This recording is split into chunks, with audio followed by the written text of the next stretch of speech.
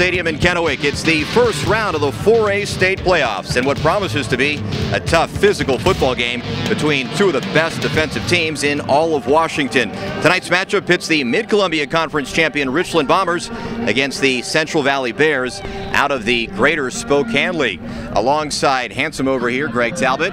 My name is Brian Levitan and Greg, the uh, cliche goes something like this. Defense wins championships, but tonight only one of these dominant defenses can move on and possibly play for a state championship. Well, that's true, Brian. Not only are these two defenses some of the best in all of Eastern Washington, at the four level, they're some of the best ones in the entire state of Washington. So let's go ahead and take a look at the coaches' keys to the game, beginning with the Bears. First of all, capitalize on mistakes. Your defense has an unheard of 25 interceptions this season on defense. So when Richland eventually hucks one of those up, you got to make sure to score on that drive. Next up, stop the run. Contain Lakota Wills uh, and really all three of those tough Richland running backs, but specifically Lakota Wills. Then sustain drives. Make sure to go through the air to beat that tough Richland defensive line. These short slant passes, tiny little patterns to keep the drives moving and keep the clock running. Now for the Bombers, protect the ball. The Bears defense is one of the best in the state, like we said, so you can't afford to make any mistakes. Then go ground and pound. Again, the Bears defense has 25 interceptions this season. You can kind of eliminate that defensive secondary by choosing to run the ball as much as you can. Then unleash the Hounds. Again, a three running back attack for the Richland Bombers. All three of them great in their own ways, so kind of get them all involved in four central to stop them on defense. Well, the Bears' uh, MO all season long has been their defense. That's how they've won football games primarily, but they'll be counting on a field general on the offensive side of the ball if they want to come away with a win tonight in uh, Richland's home turf. That's absolutely true, Brian. So, like we said, they run a spread attack, and that is quarterbacked by Tanner Sloan. He's a guy who's just not prone to mistakes. He's got a great arm, a tried and tested leader. Maybe not the most touchdowns of any guy in the Greater Spokane League, but not many interceptions. He does not make mistakes. For the uh, Richland Bombers, they have the luxury of one of these once in a generation type players, a man among boys, Lakota Wills. A great two way player is on offense and defense, but we're talking about him here on offense again. One of those three running backs. He's the bruiser of that group, and he's so good that he signed on to play college football next season at Air Force. He's the bruiser of that gang. He's the biggest one to stop, and if you can contain Lakota, they might have a chance to beat the Bombers. Well, thank you, Greg. Uh, the winner tonight takes one step closer to Tacoma and has a chance possibly to play for a state championship down the line. It's Central Valley and Richland next on SWX.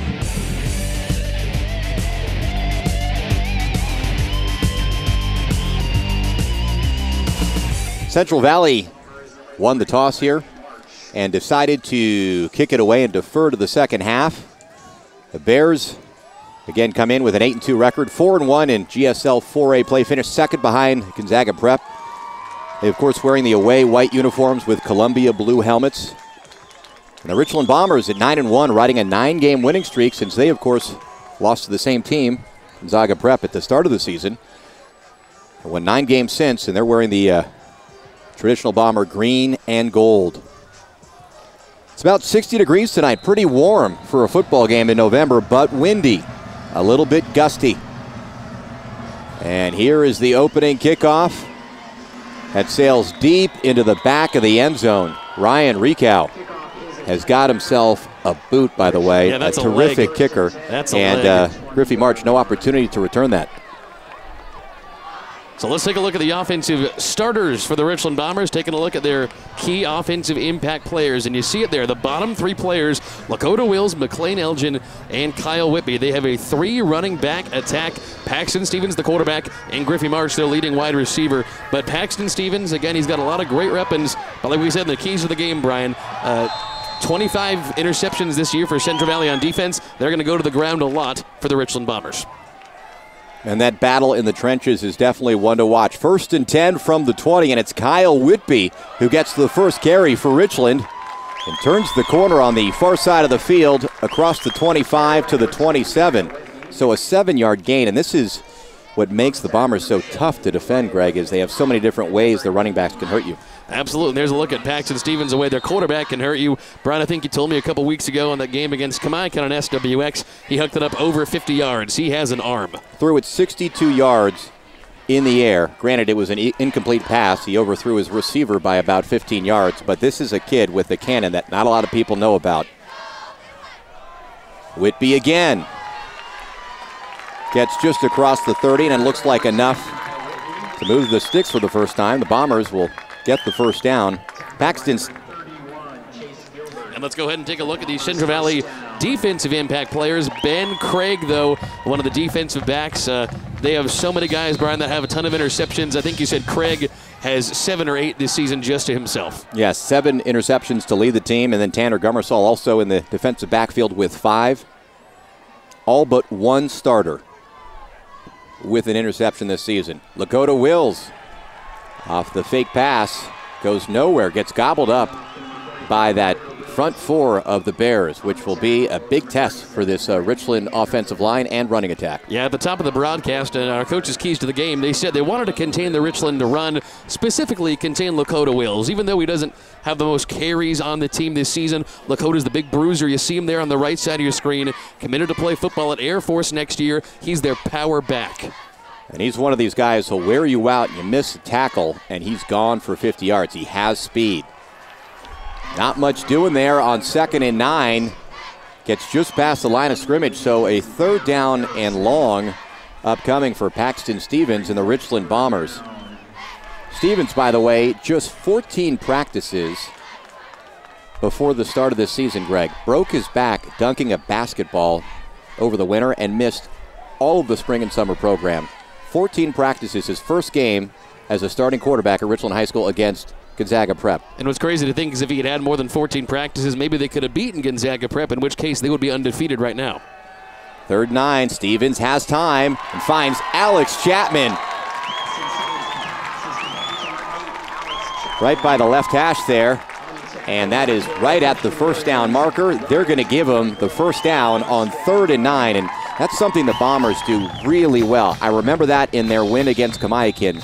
Must have converted 10 third down conversions. It was incredible how efficient they were on third down. From the 41, 9.30 to go in the first quarter. Bombers will run it up the middle. That was Lakota Wills again, not having much success, but it looks like they want to try and keep the Bears a little honest there and, and, focus on the middle of the field there. Absolutely true. And one of the reasons that they've had such great success on defense this year, Central Valley, is because, you know, all the interceptions, that's because the starting four up front on their defensive line, they're the ones that force that pressure. So whether it's running or passing, they're the key thing that Paxton Stevens is, is zeroed in on. Wills up the middle, and he is getting a steady diet of white jerseys every time he tries to break free. And I think part of the problem is they're spending so much time trying to block Jordan Talafili, the uh, defensive tackle. You see him there with the long hair. He's over 300 pounds, been a starting defensive tackle on this team in the GSL since he's a freshman. He's a junior. And uh, he, he commands so much attention uh, with the offensive line. Wills doesn't have other blockers there to help him out and get some, get some yards. Stevens rolling on third and six. Going deep for Rhett Levin, and it sails out of bounds. Uncatchable pass. Brings up fourth down. So Alex Chapman with a completed pass, and now they go to Rhett Levin going deep, although that one falls incomplete. Speaks, Brian, to the amount of weapons they have, because neither of those guys were on our offensive impact players to watch list just a couple of minutes ago. They have a ton of different weapons on offense, and it isn't just a couple of players like some teams. Richland has so many different ways they can go on offense. Probably upset some parents out there watching, but not enough room for players to watch. All uh, emails was, can be a, directed to Brian Levitan. It was it was tough to edit that list. And a quick little pooch punt here from Paxton Stevens. The Bombers like to do that on fourth down often. And on a fourth and six, a beautifully placed pooch by Stevens, who apparently has a leg to go with that big arm. That is down at the five yard line. So the drive fizzles for the Bombers. But as far as uh, Central Valley's field position is concerned, the Bombers get a win there. Absolutely true. And, and, taking a look now that the first drive of the game is over for these Richland Bombers, you can tell that uh, Lakota Wills is the guy they're looking to stop. Well, let's look at the Central Valley offensive impact players. We talked about it at the top of the game. Tanner Sloan, Scott Peck, though, on the offensive line. Boy, is he a big guy, Brian. Headed to Utah next year. Six foot seven, over 300 pounds. Engaged Canoli has uh, given them some stability at the running back position. He brings up a big touchdown run. I know you're going to say holy cannoli. I know it. I'm going to just keep you guessing. From the five yard line. Bears like to operate out of the spread, and they go to the air first, and they like to do that. That pass intended for uh, Braden Anderton, but uh, falls falls incomplete. You see Tanner Sloan right there, senior quarterback, been a starter at Central Valley for the last two years. His dad, Rick Sloan, is the offensive coordinator. Rick Sloan played his college football at the University of Idaho. On the offense, that penalty is declined. Second down.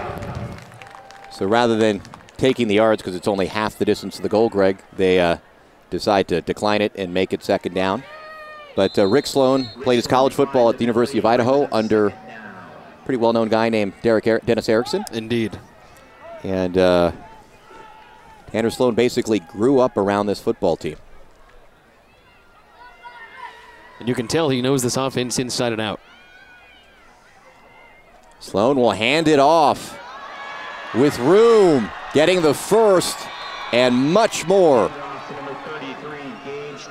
Gage Canoli with his first run, and it is a big one, 20 yards. Well, holy cannoli, Brian. Look at him. Not a lot of space there. By the way, Richland, that's a big defensive line. The couple guys they have up front. It's kind of a shifty running back. Of the, of the Richland Bomber running backs you want to compare him to, he's more like Kyle Whitby and McLean Elgin. Less like Lakota Wills.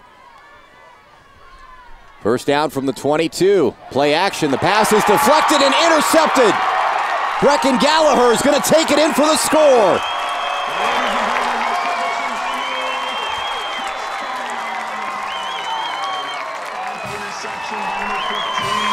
21 yard return by Gallagher, and how ironic, Alanis Morissette. Oh, but a team that some people say leads the nation with 25 interceptions gives up a pick six here at the 7:35 mark of the first quarter, and it's Richland striking first. And what's so interesting is, you know, Central Valley with 25 interceptions. You said, Brian, that a lot of those interceptions have come off tip balls by the other team. The fact that it goes Richland's way at the very beginning. That's a little bit strange. Ryan Wolski with the extra point. And he splits the uprights. We mentioned that Ryan Ricow is one of the best kickers in Eastern Washington. Wolski, no slouch either, but you see it there. Beautiful deflection by none other than number 45, Lakota Wills. Not only is he one of the great running backs in this part of the state, but you know what's interesting is uh, it sounds like over at Air Force next year they want him to play mostly defense. He's an offensive and defensive stud, and I remember a couple years ago, Brian, you and I were doing games, and he was only a sophomore. We were wondering what's he going to be like as a senior. Well, now we know what he's like as a senior. He's arguably the best player in the Mid Columbia Conference. I think that's the right call to make him a defensive player. I mean, he's 6'3", 250 pounds. He, he has the speed, but what a great defensive end or linebacker. That's his natural position. It's tough when you get to the Division One level uh, when you're that tall to be an effective running back. I think it gets a little bit harder. So the first score of this game, courtesy of one of the defenses. It's always nice when we foreshadow accordingly in the pregame show. I think we got it mostly right. 21 yard interception return by Brecken Gallagher of Richland off the deflected pass. Lakota Wills, the defensive end for the Bombers, deflecting the Tanner Sloan pass into the hands of number 15, who took it the distance. Central Valley, basically a road game for them. Although this is technically not Richland's home field, it is their backyard, so to speak. Just a few minutes away from Richland here in Kennewick, Washington. And seeing some of that uh, gustiness I was talking about earlier. The uh, ball is blown off the tee. Well, it's been a windy couple of days here in the Tri Cities, as is usually prone to do during the summer, but it can also get like this in the winter. And I got to tell you, you got to be happy that there are the stands here at Lampson because elsewhere in the Tri Cities, smaller stadiums with smaller stands, it's very hard to play in this wind. A little bit of a duck there from Wolski. Fielded at the 25 and taken out to the 30 by Alec Doyle. How will the Bears respond? And that's always the question in games like this. Because when you're in the first round of the state playoffs, the competition is going to be pretty fierce.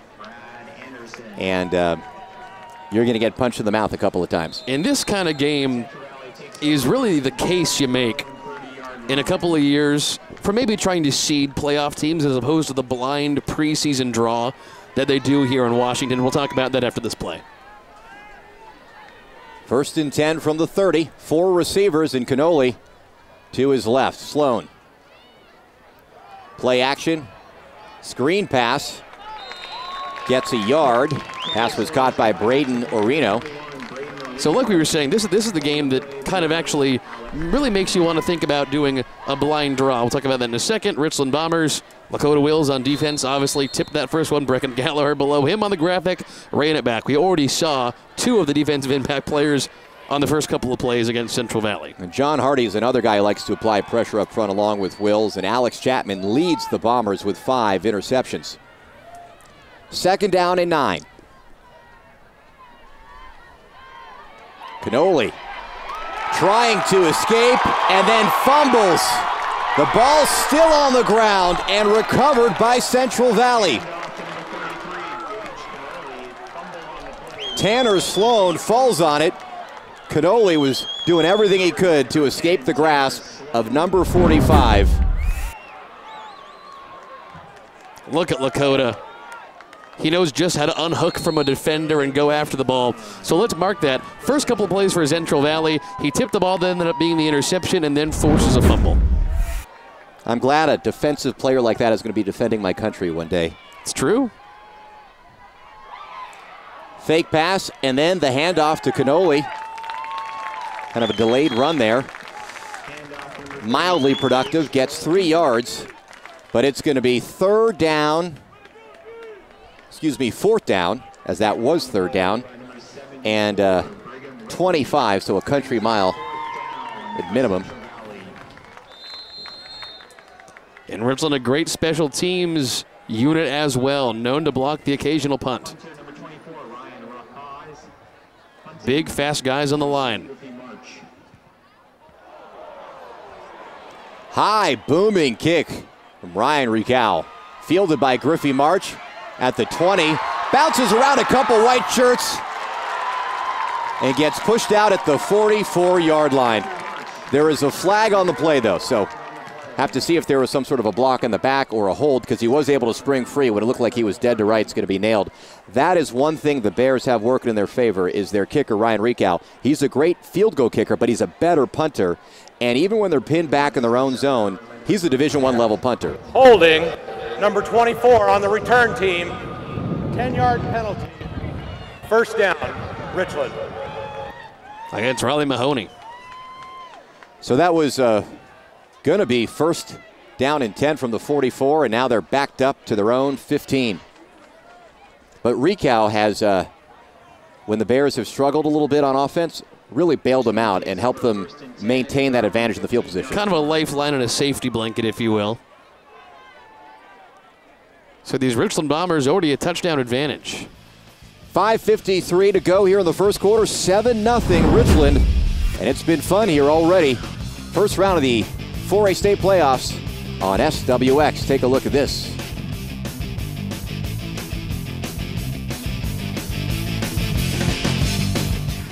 Well, speaking of campers, the uh, Bombers head coach Mike Neidhold has to be a pretty happy camper with the way his defense is playing in the early going.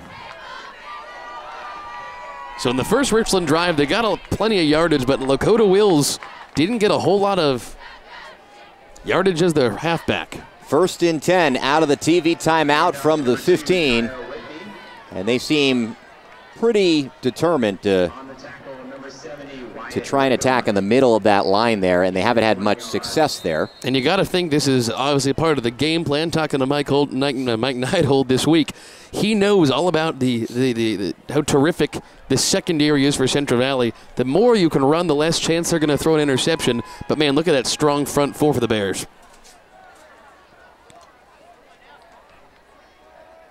Second and nine, play action, quick pass, Stevens. And Griffey March tackled immediately without any opportunity to get yards after the catch by Alec Doyle.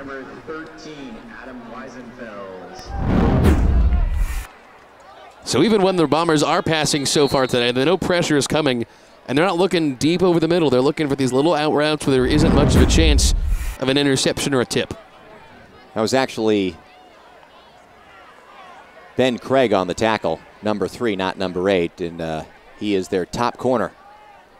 Charged with covering Griffey March. In the slot, Stevens on third and short goes to March, who makes the catch and gets the first down. And that is a gutsy throw to go over the middle into zone triple coverage. That is a gutsy throw from Paxton Stevens.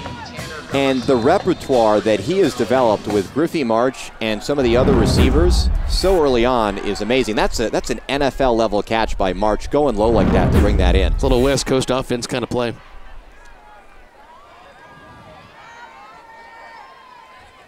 From the 26 on first down, Whitby juking and jiving to the 28. Gets seven yards.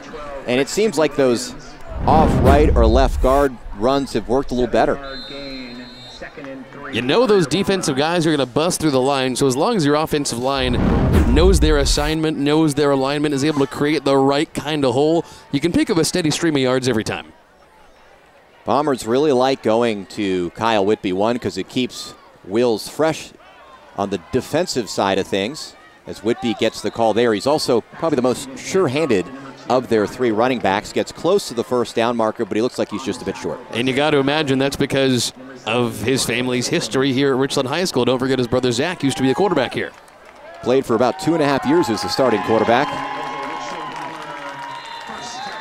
And they're going to say he was close enough. So instead of third down, it is a first down and 10 from the 36. Bombers have had some bright spots on offense thus far, but uh, haven't been able to make it past the middle of the field yet. Only one offensive series prior to this. Stevens going to throw, and the pass caught by March. Room to run around Craig, still going. Pushed out at the 16 yard line. We saw it on the punt return just a few minutes ago, Brian, and now we see it here with limited space, able to spring free with very little apparent effort. 30 yard pass here from March, from Stevens, I should say, to March. What a great move around the of the corner. And the spin was great. Doesn't need much room to make stuff happen. Quick moving first quarter here, only three minutes left. Griffey March led the Mid Columbia Conference both in receptions with 43 and 537 yards. Added to that total on that pass. Little hook and ladder action. March to McLean Elgin, his first time touching the football. A for effort.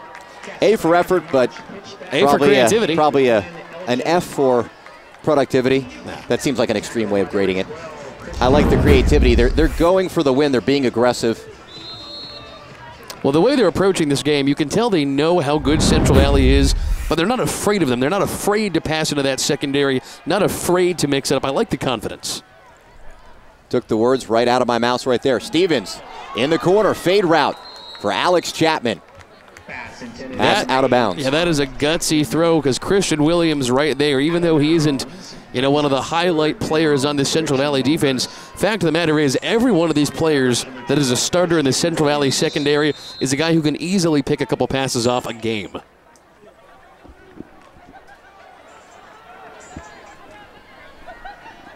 Offensive coordinator Josh Jelinek, the Bombers, did some tweaking to their offense this past winter. They've had a lot of success since. Rolling out the pass to March, caught to the pylon. The official goes flying down to the ground. There is a flag in the backfield, probably coming back. They say it's a touchdown. That would be a 14-yard touchdown pass if it stands, but usually if you know some laundry in the backfield, that means it's And they're, they're walking back like this is coming back against the Bombers. It is against Richland. Holding on the offense, number 79. 10 yard penalty from the spot of the foul. Replay the down. And normally, when a quarterback's able to get that much space and kind of evade the defense for as long as he did against a great front line like Central Valley, that's usually going to be holding. So instead of a touchdown on third down and nine, it's now going to be third and 20. The ball at the 26 yard line. Bombers have themselves a very capable kicker whose range extends out to about 40 yards. which really separates them in the regular season in the Mid Columbia Conference because you can say, Brian, arguably they are the only team in the MCC with a capable kicking unit. For field goals, that is. Third and 20, four receivers. Stevens will pass. Little out pass, pass to March, escapes a couple, and finally tackled at the 15 yard line. And Griffey March is so deceptive. He's 5'8, 160 pounds. He doesn't look like he's got the build of an elite receiver, but he's he's like a little Welker, little Wes Welker. That's the analogy I can come with. And uh, he's very effective. Wonder why. Uh, he, like we said a couple minutes ago, he doesn't need very much Wonder space. why? What do you mean? I don't know what you're talking about. Um, he's a he's a fast little guy. Doesn't need very much space, but like we said, a capable kicking unit. Really, the only team in the MCC in the regular season able to pull this off. This is what separates them from the pack. Ryan Wolski will attempt the field goal.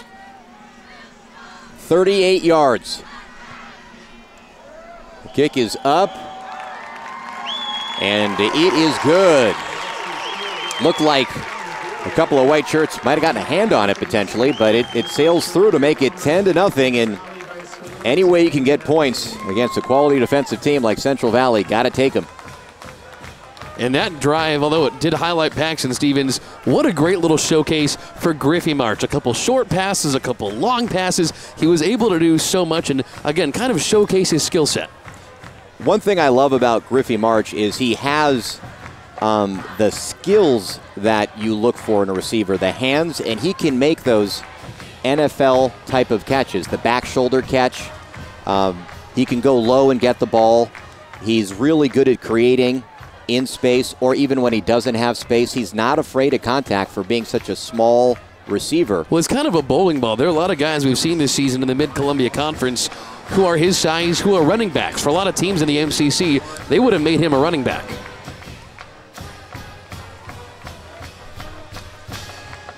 I would say that number three is one of the big reasons. Him, Rhett Levin, Ryan Wolski, the kicker, is also a very capable receiver. He's like fourth on the depth chart, which gives you an idea of how good they are, fourth or fifth. But uh, you know that they're so good on third down. You know, a third down and long, they can just pick you apart. It's almost soul crushing for another defense. High popped up kick. Ball is loose there, and I don't know who got there because Central Valley definitely touched it. And Richland says they recovered. Bombers got it. And I can't tell whether that was intentional or if that was a high kick because of the wind. Either way, that is a case where the bigger team that is expecting it is able to get their hands on that ball. See it right there, and it's one of those things that where can't have been an accident. I think he just got under it and popped it up. And because, then the wind kept it in the air like that. Because I, would never see a skip kick that high up in the air. That's uh, insane. Second turnover of the football game by the Bears. Still 118 to go in the first quarter, so things not going the way head coach Rick Giampetri and the Bears would have wanted here in the Tri Cities. Quick pass to Rhett Levin, his first reception on first and 10 from the 34, and that's enough to move the sticks as he is brought down at the 22. And I know, Brian, looking at your pregame coaches' keys to the game here, one of the ones for Central Valley, sustained drives. Really not very much luck of that at all in the first quarter. That was Giampetri's really big concern when I talked to him this week. Very concerned about just how ferocious that front four for Richland was. Stevens going to throw. Oh, dangerous. Pass is behind Alex Chapman and a flag against Ben Craig of the Bears, who uh, not happy about the call. That'll be a pass interference, I would imagine, and a 15-yard penalty. Haven't seen a ton of penalty flags so far here in the first quarter, although they have been meaningful penalties. On the defense, number three, half the distance to the goal. Yeah, Brian, there hasn't been a ton of laundry, but the ones that have been thrown have been meaningful. With the ball at the 22 yard line, it's half the distance to the goal. So they'll move it down to the 11. Oh, totally. Got his left hand and knocked it down. Tomahawk chopped them. And the pass probably wasn't catchable anyway with where Chapman was in relation to it. Yeah, behind him. Wills and Whitby keeping Stevens company. Wills gets the call, goes off the right tackle inside the 10 yard line to the 7. Under a minute to go in the first quarter, it has been all Bombers. This Richland team has reeled off nine straight wins since a season opening loss to the Gonzaga Bullpups 13 10, a game in which they missed two field goals. Their starting quarterback had only 14 practices prior to the start of the season. And they are firing on all cylinders here as we begin the state playoffs. Second and seven. Wills, again, no success running right at the heart of that Central Valley defense. Yeah, he's had a ton of success on defense. He's tipped a ball that ended up being an interception. He forced a fumble, but that's the, the, the big up front starting four for Central Valley. I'd be interested, Brian. Let's take a look and see if we can focus on this for the remainder of this drive. When Lakota Wills is in the backfield, let's see if they're doing anything different on the defensive line. Because Elgin's getting a little bit of space, and that'll be the end of the first quarter. 10 seconds, and the clock going to tick down to nothing here as we take another replay at. Uh, it's a nice job of uh, bottling up the big, burly Lakota Wills. 10 to nothing. Richland on top of Central Valley. First round action of the WIAA 4A state playoffs on SWX. Second quarter coming up next.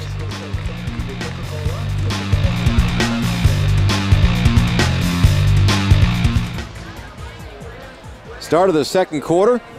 See uh, Rick Giampietri, head coach, Central Valley High School, in his sixth decade as a coach for high school football. And he Started in 1969, 46 years ago. And he can't be psyched about what's happening right now. His team is in a little bit of a pickle. Down 10 to nothing. And the Bombers knocking on the door. The handoff to Whitby on third down and five from the six yard line. And a much needed stop there from the front line of Central Valley. And that's what we were looking for between the between the quarters, Brian, during the commercial breaks. It seems like Lakota Wills, when he's in the backfield as the Richland running back, they're bringing the linebackers on the Central Valley defense. They're not giving him any space. But when it's Elgin or Whitby in the backfield, they're not bringing the linebackers. So it's interesting that those guys are getting a little more yardage than, than Lakota. Coach Mike Neidhold going to take the points here. Fourth down at eight. Ryan Wolski in. And he will add another three points to this Bombers lead. It's now 13 to nothing. Wolski now has a 17 yard field goal to go along with the 38 yard field goal he booted earlier in the first quarter. But it is interesting to note now that it's a 13 point lead for the Richland Bombers. In case you're just joining us, Richland Bryan has picked up the vast majority of their yards today through the air. We were kind of expecting to be a lot of different running backs as you see the kick here to make it 13 0. We were expecting that big running attack, but they've noticed it hasn't really been working. They've been passing for most of their yards, which is kind of exactly what we thought would not happen tonight. We thought that would be the exact opposite, considering Mike Neidhold knows well just how great this secondary for Central Valley is. Yeah, they're very opportunistic defense, but the secondary success really keys off the amount of pressure that their front four is able to put on Paxton Stevens. And uh, he's been pretty comfortable back there throwing the football. He hasn't been running for his life the way Tanner Sloan has on the other side. Absolutely true. Great offensive line, at least on the pass so far tonight from the Bombers. Last year, or last week, I should say, last year would be a long time ago, but last week the uh, the Bears had five interceptions, five turnovers, four interceptions, but two of them were off deflected passes. So a lot of it is is that front four wreaking havoc, getting their hands up, and uh, That number mostly is surprising because Chiawana usually doesn't pass very much. credit the Bombers with some great protection of their quarterback. Wolski boots this one into the end zone. No opportunity for a return by Gage Canoli. And it'll be first and 10 from the 20 for Central Valley. It's 13 0. An oversimplification of things, but from the Bears' perspective here, I'm saying it's a 2 0 game.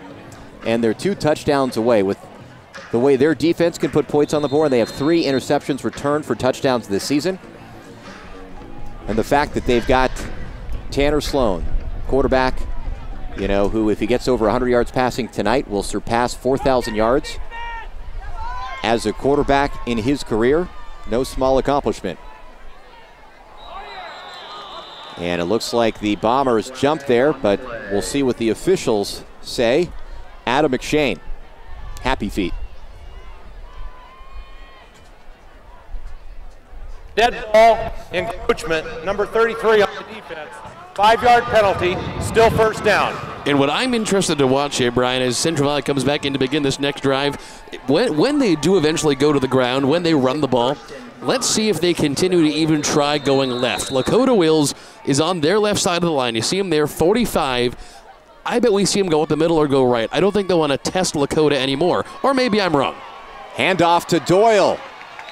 Lakota Wills blitzed on the outside. Doyle went in the other area. Yeah, he went to the inside. Then again, nice may, read. Maybe I'm wrong. I'm just a little surprised they continue to, to try to test Lakota Wills, especially after how effective he has been just through a quarter of play. 11 yard run by Alec Doyle. Senior running back is, talk about bowling balls, 5'9, 200 pounds. Runs low and uh, hard to tackle.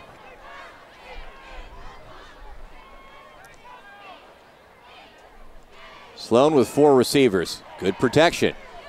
Screen pass. Braden Orino. Taps down to the 40 yard line. Four yard pickup. It'll be second and six. One of the keys to the game we brought up at the top of the broadcast sustained drives. They have not done it very well tonight. Maybe, you know, seeing that they've Richland's already scored on them three times, they're digging themselves a little bit of a hole. Smaller gains, as long as they keep the clock moving and keep the drive running, is just fine. Three, four yards, nothing wrong with that. Play action. Marino again has a blocker, then runs into several green and gold jerseys. But not before he gains another three yards. And this, I think, is an important third down and two. With 10 10 left to go in the second quarter, you're down 13 0. You've had some things to build on in this drive here. Can they get the conversion here and keep the sticks moving? Sustained drives, your keys to the game. Let's see if they can. Three wideouts, top of the screen. Coach Giampietri's keys to the game. I'm not that smart. Hmm. Sloan, Room, Orino, they've had success connecting on this drive. Got it. And he just gets there before getting hammered by Kyle Kirby. And I wonder if a flag went up there as a late hit, but uh, the uh, the marker went down. They'll give him the first. Nice job. That pass was almost overthrown. Nice job of Orino catching it. You can see why they were calling for a flag, even if they didn't get it. Five yard gain. First and 10 now from the 47. Bears trying to crawl across midfield for the first time in this football game. Doyle up the middle. Give him four yards with the forward progress. One thing to note about the Central Valley team, granted, a whole new set of players, but it's a testament probably to the coaching staff. They were down the only other time these two teams played each other back in 2008 and uh, ended up winning that game 35 21, coming back later in the game. So, a team that you don't want to go to sleep on if you're Richland because of the way they're coached. Second and six. Ball on the 49 yard line. Sloan fakes, then throws to Doyle, who gets popped immediately for a loss by Griffey March, who timed that beautifully. And really going to sleep on any team in the playoffs would be a bad idea, but especially the fact that look at the matchup for this game. Richland number six in the state and Central Valley number seven in the state. Speaking of which, let's take a second to talk about this. Can we please, it's 2015, can we find a way to start seeding teams? There's no way the number six and seven teams in the state should be meeting each other in the first round of the playoffs. It's ridiculous. Loss of one. It's now third and 11. Sloan will have to throw, or he won't. He fakes the throw and then hands it off to Doyle, who gets back to the original line of scrimmage that is a very safe play call for third down and long. There is some laundry on the field. There could not have been a safer play call. Play call. And number 59, John Hardy. That'll help. Well, a face mask will give them the first down they wanted. So on a third and 11, they get the conversion. foul, face mask on the defense. 15-yard penalty results in a first down. So sustaining drives, an alternative way. One thing the Bears, I think, have going for them, just like the Bombers do, is even if they can't punch it in the end zone, they have a kicker with the leg to make a 40, 45 yard field goal pretty consistently, which is not not the norm at the high school level. And, and so they can come away with something positive, some points on this drive. They're just a, another first down probably away from it. Sloan, good protection. Overthrew Going it. to the far corner. That was the right read. Ben Craig ahead of his defender. There's a flag. The flag, I think, was thrown on that coverage, but earlier on in the play. Might have been against March. Holding on the defense, number three. 10-yard penalty results in a first down. It is against March. Turnover is an issue for the Bears, but penalties starting to become a problem for the Bombers. So each team having their Achilles heel in the first half. Another first down. Bears will take it any way they can.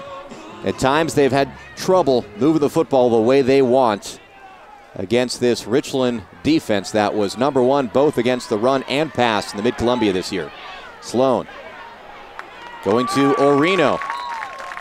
Without success, he'll lose three on that screen pass. Well defended. Well, here's the thing. We're no longer in the first quarter. We're actually approaching midway through the second quarter. And the Central Valley offense, Brian, I think you would agree, they're still kind of operating like they're trying to feel this Richland defense out. These are all, you saw the third down and long, you saw the draw play, you see little screens, two or three yard passes.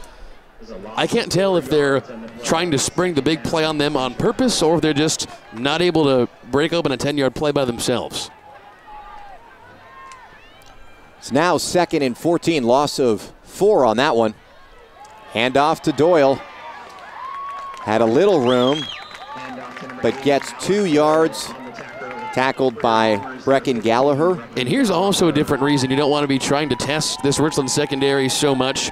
Look at their cornerbacks Alex Chapman, Griffey March. You recognize them. They're wide receivers. These are not just corners who have good speed, these are corners who have great hands. Chapman, as I said earlier, with five interceptions on the season, second in the Mid Columbia Conference, leads the Bombers in that category. Third down in 12 from the 30. Sloan, better run, and it's Lakota Wills. Lakota Wills and Adam McShane partnering for the sack. And that just took him right out of field goal range. The one thing that couldn't happen, Greg, happened right there. I don't know how much more Lakota Wills could really be doing. It's kind of stunning what he's done so far today. And not only getting that upfront push, but sometimes bouncing to the outside like that. And they'll punt. Well, third and 12 now becomes fourth and 22. Yeah, fourth and way too long. They'll punt. They have a, an excellent punter in Ricow, who has a great leg and has the ability to place it very well, too. Griffey March back. Wow, great kick. He will just wave it and uh, let it sail over his head into the end zone. 6.30 to go in the second quarter. An opportunity for the Bears slips through their fingers, but it's still a battle here. 13 0 Richland, Lampson Stadium. First round of the WIAA 4A playoffs at SWX. Nice little shot there of Old Glory. We're celebrating Veterans Day on Wednesday of this week, and how fitting that a star player for the Bombers, Lakota Wills, who will be headed to Air Force next season to defend our country. On defense, and what a great defensive player he has been tonight. Sack, tip ball that ended up being an interception, forced fumble. First down in 10 out of the television timeout from the 20. And it's Whitby getting a couple of yards. So this is what's interesting to watch. Kyle Whitby's been getting three, four yards on each carry. Same with McLean Elgin. Lakota Wills has not been able to pick up any more than two or three yards, I think, on any individual carry so far tonight. Watch the linebackers. When Lakota's in the backfield, they kind of bring the blitz, but I'm not sure they do here. Now watch the linebackers. See with McLean in the backfield or Kyle in the backfield what the linebackers do. See they stay back. On second and eight, Elgin will turn the corner and get an additional three yards. See, the linebackers in the secondary stay back. They're okay allowing a few yards to him, but watch, when it's Lakota, they're going to bring those blitzes. Under six minutes to go in the second quarter. The Bombers have definitely controlled this game. A couple of big plays on defense, a couple of turnovers, one on defense, one on special teams.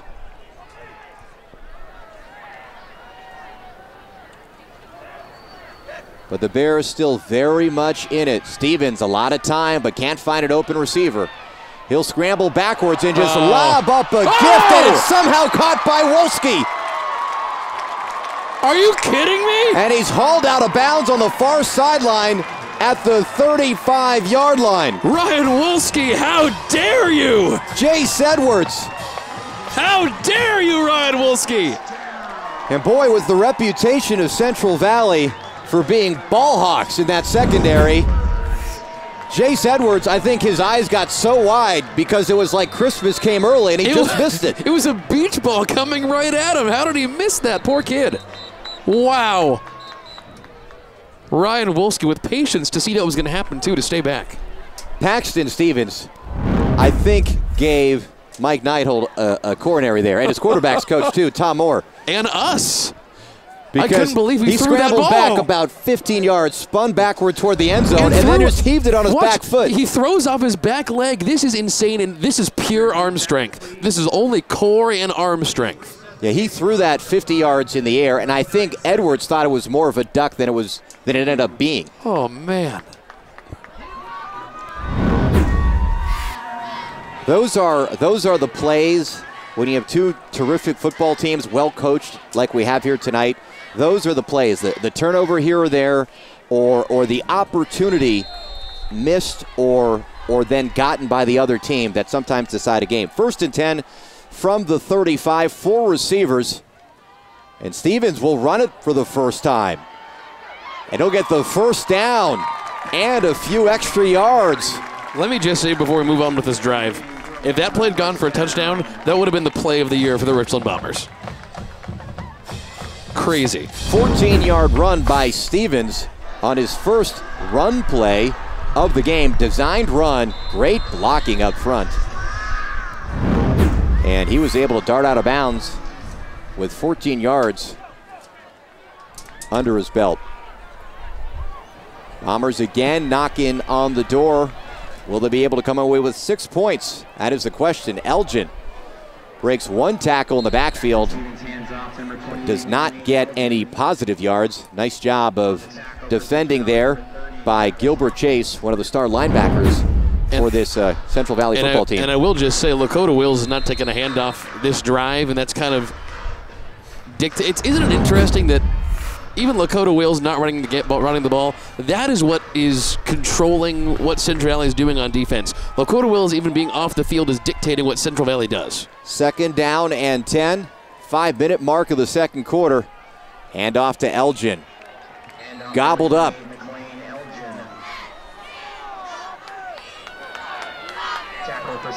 Terrell Harrison and Wyatt Wickham combining on that tackle. Wyatt Wickham, by the way, Greg, just a freshman, 6'2, 260 pounds. They have Not afraid to start meaty freshmen. linemen. Yeah, not afraid to start freshmen on this line. Coach uh, Giampietri clearly believes you start the most talented players, especially if they have the maturity and the and the dedication and the commitment and the talent. Stevens scrambles away. Great job of getting away from pressure, doing Not his again. own Russell Wilson impression, and this time he will not get away with it. Yeah. Intercepted by Chase, by Gilbert Chase, I should say. You can see that one developing. And in all fairness, that, that is what should have happened a couple of plays ago the first time. The only difference between Russell Wilson here and Paxton Stevens, Greg, is when Wilson does this, he throws it out of bounds.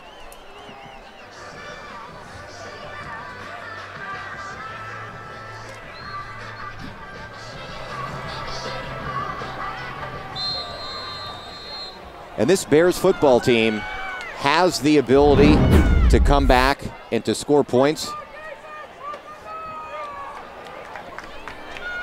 Bombers gave one away there. And I think that's a maturity thing for Paxton Stevens is on first down, it's Alec Doyle going nowhere, actually losing a yard. I got to tell you, I don't think they fed the, the Richland Bombers front for dinner because they're just downright ornery tonight. They're, they're just mean. You could just see it when they're tackling. After that interception, they're like angry.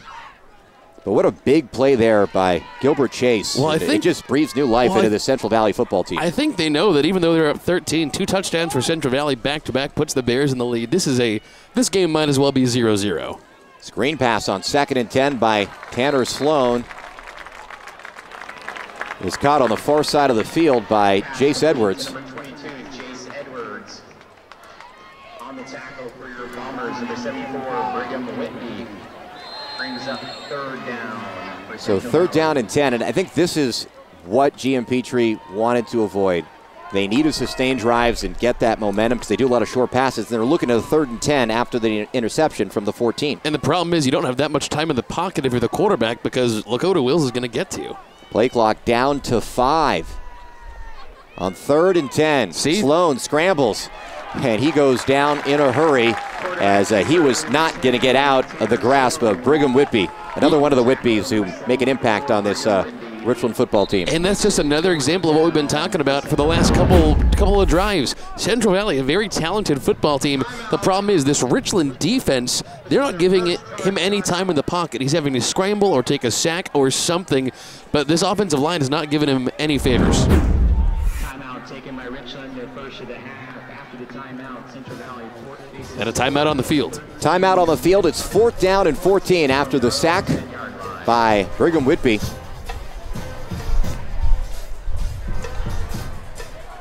Well, two great defensive teams came up with these graphics. I like the title Restless Defense. Richland Bombers, first in the Mid Columbia in pass and rush defense, allowing less than 10 points per game. One shutout, 52 to nothing against another GSL team, Shadle Park. Held, held number four. Gonzaga Prep to the lowest point to- total for the Bullpups this season in that 13-10 season opening loss Yeah, back the Bombers to, had. Yeah, back-to-back seasons they've lost to Gonzaga Prep early. I think it was the first week of the season last year as well.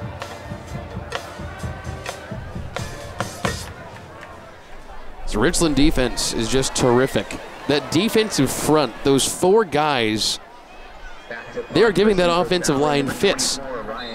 They're not getting any time in the pocket, and that's why they haven't been able to get any real offensive passing game going, Brian.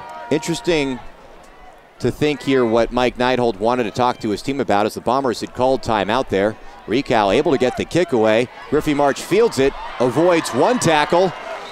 Boy, you want to talk about making chicken salad out of chicken, you know what? Because he should have been nailed at the 50, and he got seven yards. And, and certain players just know how to do that. We've said it before tonight. He's able to do so much with, with next to nothing. Bombers with their best field position in this football game Yeah, to is a- start out a drive from a the gift. from the 42 yard line and they definitely dodged a bullet there after they looked like they were about to score a touchdown and then the ill-advised interception throw by Paxton Stevens. We'll see if Neidhold perhaps during that timeout had a little talk with number 17 about being smart. Hand off to Whitby, a little scat back. And he's so good at being shifty and that he's not afraid to deliver a little punishment at the end of a run. Gets eight yards on first down.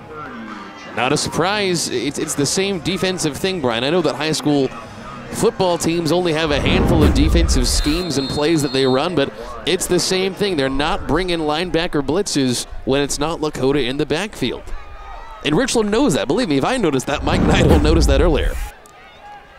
Give Whitby nine yards, so it's second and one. Stevens over the middle. The pass caught by Griffey March at the four yard line. That is a college style play. That High is a- schoolers do not make that play. That is a needle threader right there. And and nobody can go low and get a football like Griffey March there. Great timing. That's amazing. Just dropped it right in there like a little teardrop at the end. He threw that with literally no other way that anyone else could touch that ball. Great was great. placement, and that's a lot of trust with your receiver if you have a timing route like that. Paxton Stevens, junior quarterback, 6'3", 170, and already wise by, beyond his years. Going end zone, the pass over the uh, outstretched arm of Rhett Levin, Well, well, should- covered by Ben Craig. Should have been PI, but that was an uncatchable pass. Way too high. A little bit too high. Yeah. Better to be high and miss where nobody can get it Right. than anywhere in the vicinity of number three, who can be very dangerous. Yeah, especially this Central Valley secondary. Second down and goal from the seven. Bombers only have one touchdown early on in the first quarter. 126 left before the half. They've got a couple of field goals. We're about to score on their last offensive drive and gave one right back. Lakota Wills willing himself to some positive yardage, yardage on that run, and that hasn't been a, an often occurrence for him when he's been running. No, two, three yards has just generally been the, the slow beat of the drum for Lakota coming out of the backfield tonight. Number 30, Travis There you see Jordan Talafili. Big bad nose tackle. Now lining up at end here. Oh, he jumped right third down side. and goal. And we've got a flag. flag on the play. And it looked like uh, Talafili there jumped. Dead ball, false start on the offense, five yard penalty, still third down. That's the last time I take uh, any cues from, from you, Mr. Talbot. I thought he was on the left side of the line. I thought I I'm saw always that. wrong on my own. I don't need any help. I've learned. I learned a couple of games ago to stop trying to guess who jumped. So that'll back the Bombers up to the 11-yard line. Under a minute to go. 13 to nothing. Third down. Big third down. Stevens. Passes complete to Levin. Down to the five. Paxton Stevens pass complete 38 seconds. They'll call a timeout, I'm sure. down to the Central Valley. There that is. And head coach Mike Neidhold will discuss strategy with his offensive unit. Number 31, Chase He will do that along with his offensive coordinator, Josh Jelinek. As you see 11 there, fighting his way to the five yard line. This is a good time, maybe to. Uh, I was going to say a good time to discuss some, some history, but uh, perhaps we'll go with Central Valley's defense. We've been talking a lot about Richland, and their defense has uh, come through with a big interception here and, uh, and certainly been a bend but broke, don't break defense, Greg, and, and equally impressive numbers. Absolutely true. Just last week, I talked about it a little bit earlier in the broadcast. Five turnovers against the Chiawana Riverhawks they forced last week, which is really surprising for a couple of reasons.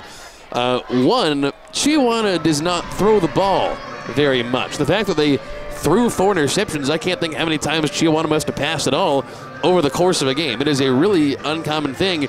And three shutouts over the course of the season in the Greater Spokane League, that's crazy. I was talking to Coach uh, Rick Giampietri. As it looks like the Bombers will go for the field goal and again take the points.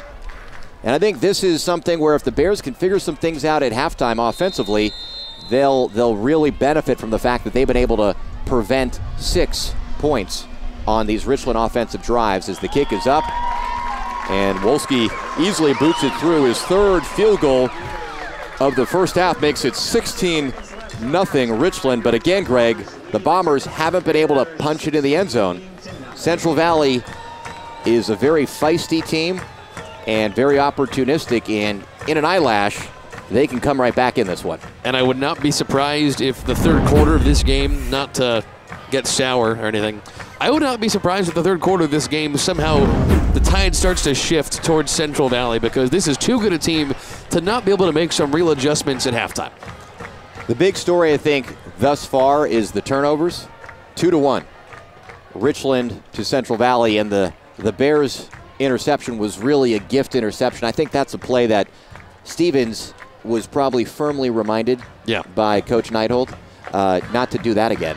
And uh, I just have a hard time believing if he's protected as well as he has been that he'll make a mistake similar to that, but you never know. Especially if that front four for the Bears can figure out the, uh, the offensive line and the protection of Richland.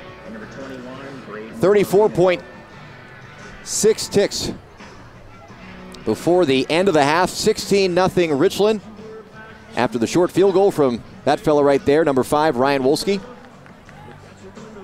A little bit of a windy night, although it's pretty warm, about 60 degrees. Could be a lot worse. There are other stadiums in the Tri Cities where it would be freezing tonight. Second time tonight, he's had that football blow off the tee.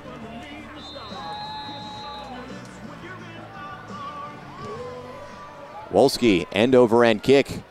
Room to field it is Canoli, who bobbles it. And from the four, won't get much. Tackled at the 14. On the tackle for your Richland Bombers, number 21, Josh Mendoza. So a lot of field, not a lot of time, not a lot of success passing tonight. If you're uh, Coach Giampietri, I got to think you're going to do one of two things. Just say, hey, I'm pretty happy to be down only 16 to nothing I almost think you just run here. because it could be 25 or 26 to More, nothing. yeah. And uh, the other option is just surprise them with something. A little halfback option. Richland was tricky. They tried to hook, Hook and ladder. ladder. in the first quarter. Jinx. Yeah, something like that. Jinx. Time for maybe four plays. And they will just Nope, run it. Alec run. Doyle has some Yeah. room, Stay in but bounds. uh, stay in bounds, and that'll. Drain the clock down. It'll stop because of the first down. Tackled by Alec Chapman. So uh, two Alex getting their names and numbers called on that one. Make me feel better if you laughed at my lame jokes. and this will be most likely the final run play. It will be because Doyle did not get the first down. final it. run play of the first half. By number 45, Clock trickling down to zeros. 16 0 Bombers in control. First round of the WIAA 4A playoffs. And it's been a fun one. Halftime show coming up next. You're watching high school football on SWX.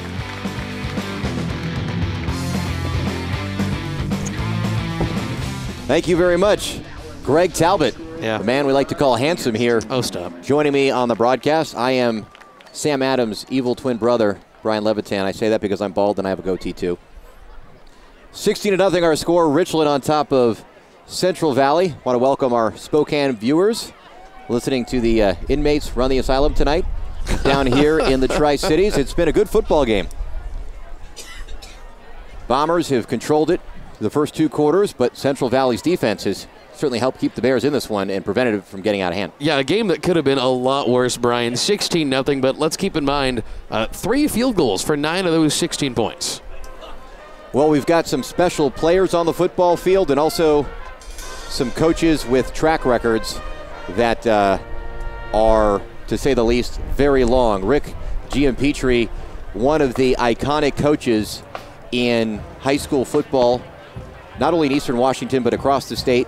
Got 146 wins in his career, won a state championship back in 1997 with the Bears. It's actually his 33rd year at Central Valley, 23rd year as the head coach. He's been an assistant coach in his career for as long as he's been a head coach. He's a guy who earned his keep and a guy that was a football player as well at the college level. Absolutely true. And you're talking about coaches. There's one coach you might recognize the last name there. That's uh, Jack Elway, the father of Hall of Fame quarterback and Denver Broncos GM and president John Elway, who I believe was 10 or 11 years old, somewhere in that range, maybe eight years old, when uh, when uh, Coach Giampietri was playing for Grays Harbor Community College, where Jack Elway was the head coach. And Mike Neidhold, of course, terrific coach with the Richland Bombers, eighth year as the head man, 21 years as, as an assistant. Best postseason to finish, 2013, Greg.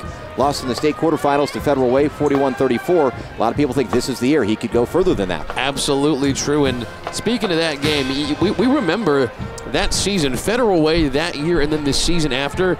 Man, That, that Federal Way team, uh, they almost beat Chiawana, who went on to win the state championship last year. So losing to Chiawana, uh, rather losing to that Federal Way team, nothing to be ashamed of. Well, Mike Neidhold, the head coach of the Bombers, the only Bomber alum to be a head coach. He was the starting quarterback. You see number 11 there with a full head of hair.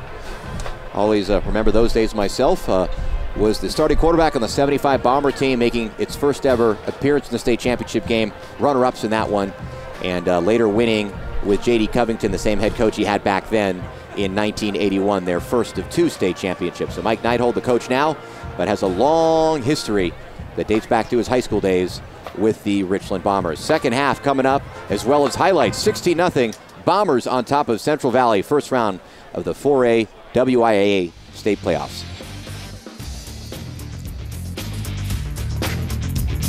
16 0 Richland on top of Central Valley. Second half just about ready to get started. But first, let's find out, Greg, how we got there. A bad night for Central Valley in the first half. Started almost immediately. They did have a couple good plays, but man, uh, there was a fumble. There was this tip that ended up being an interception. They eventually got a fumble forced by Lakota Wills. Richland defense was everywhere in the first quarter. Yeah, Brecken Gallagher there with the 21 yard interception return. You see that beautiful deflection by Lakota Wills, who was setting up residence in the backfield of Central Valley. And, this then Lakota again. another big play by number 45. Ball's loose, and a terrific job by Tanner Sloan, their veteran quarterback, of preventing another six points by the Bomber defense. And a great March. play. But what, what a first half Griffey March had on punt returns, kick returns, receiving, sometimes almost no space, breaks up a huge gain. downright surgical with his route running and big turnover here on the uh, on the kickoff. Bombers get it, leads to three points.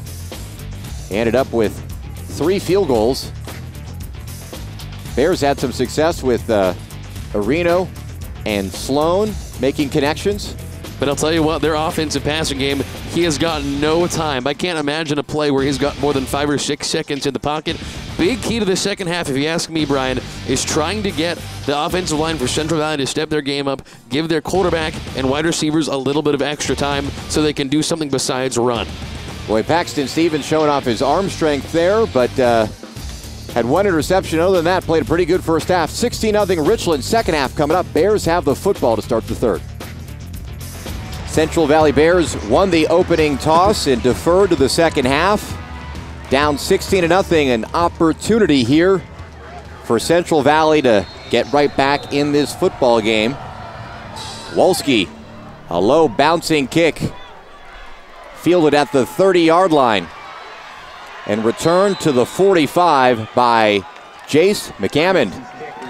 And that could be a little bit of a gift for Central Valley. I'll tell you what, you know, give them only a 55 yard field to work with. That is a manageable field for a team that has not been able to go deep so far tonight. One of the two turnovers, though, just to play devil's advocate here, on special teams by Richland, and it was on a bungled kickoff. So perhaps testing the Bears' sure handedness in their return game. Handoff to Gage Canoli, who loses a yard. And boy, looking at some of those first half stats, it has been a slow go offensively. It has been the slowest of goes offensively, really. Will Sloan, you see the quarterback there, seven for nine, efficient, but 11 yards. Gage Canoli, their horse at running back, who's been very effective this season, just four carries for 20 yards. Doyle, Alec Doyle, been their best option thus far offensively. Yeah, leading receiver only has 17 yards. Second and 12, so the good field position now becomes a second and long. Canoli tries to escape, but unsuccessful, gets back to the original line of scrimmage. So not a lot of passing success, not a lot of running success for Central Valley. Really, this Richland defense, they have an interception, they have a forced fumble, they've gotten a kickoff back. They have done just about everything pretty much perfectly so far tonight. Coach Giampietri, in our conversation this week, said his biggest was con- concern was how effective they could be on offense against the Richland defense. He knew his defense could play. Sloan with time throws, finds space in the middle of the field, caught by Ben Craig for a first down. No, they're going to say it was trapped, and it's It was complete. Boy, it looked like somebody had said it was. Now that was the Richland crowd. That's how I got thrown off. And with that pass, he just doubled his passing yardage on the night. Big third down conversion. And with pressure in his face, Tanner Sloan. Beautiful. He had that. So first down from the 43, Sloan. A little time. A little bubble pass there.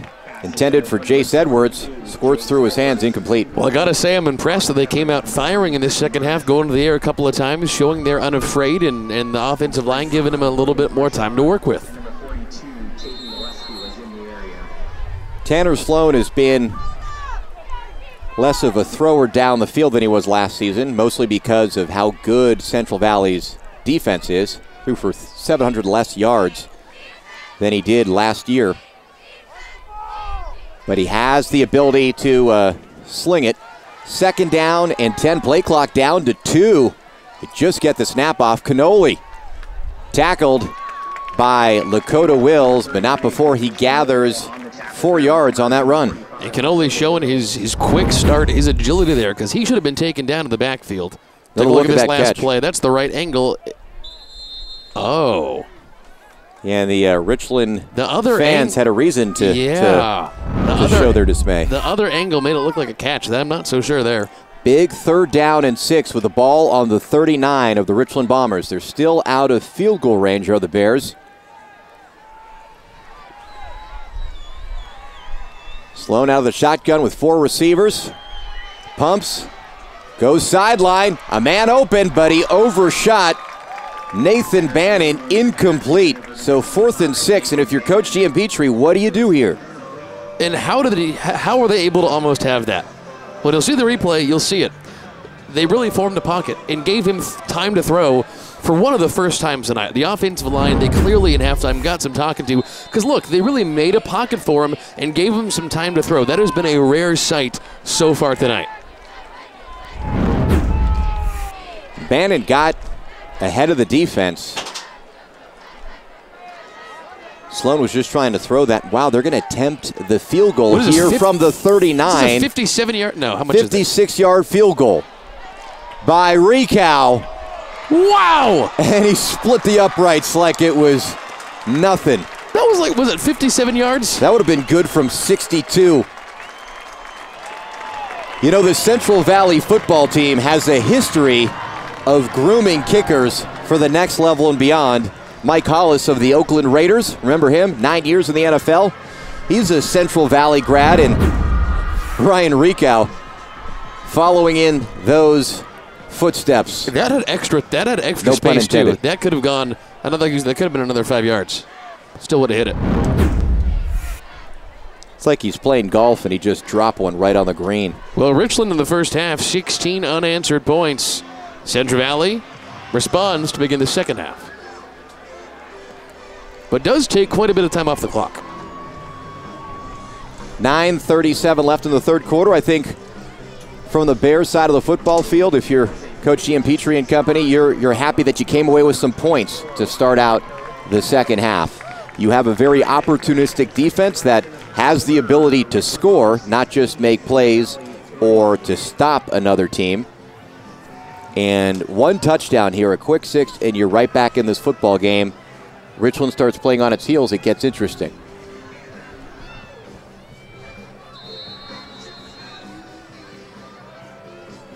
Rehkow will kick it off. And after the 57 yard field goal, he puts that one in the back of the end zone. Richland will begin from its own 20 yard line and try to answer the first points of the football game by the Bears. Now, we said a second ago, Sloan, the quarterback for Central Valley, had a rough first half, only 11 yards through the air. Contrast that with Paxton Stevens. Very efficient, 9 for 13, but 155 yards. Stevens had that one interception ill advised, which snuffed out a drive, but can afford to take risks with the way the Bombers have been paying de- playing defense for most of this football game. Handoff to Wills, his biggest run of the football game. Gets eight yards. Wills, very quiet, just 11 yards on seven carries in the first half. He got eight yards on that run alone. So a couple anomalies to begin the second half. Central Valley offensive line holding for the quarterback, and Lakota Wills getting enough space to make something happen with a run up the middle.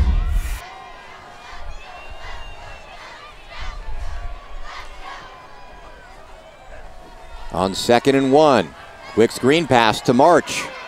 Makes one man miss, gets the first down and an additional five yards.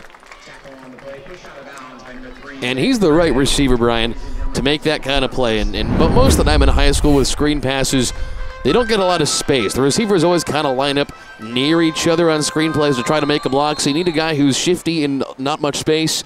Griffey March might be the definition on that Richland team. They need to put uh, Griffey March on the Food Network because he's slicing and dicing this Central Valley defense Oh, like boy. a sous chef. Oh, man. Handoff on first down to Lakota Wills. And he'll get 10 yards. Nine and 10 yards on his first two carries of the second half. He had 11 yards on seven carries in the first half. You know, you usually save those those zingers for, for blowouts in the fourth quarter. You're going to them pretty early tonight. I just want to give our Spokane viewers a little something to chew on. Oh, man. Boo. Second and short. Wills gets the first down. Trying to fight for a couple of more. Stopped at the 47 yard line with a 16 3 lead, 8 14 to go. Nice clock sustaining drive here, it looks like, in the making by the Richland Bombers.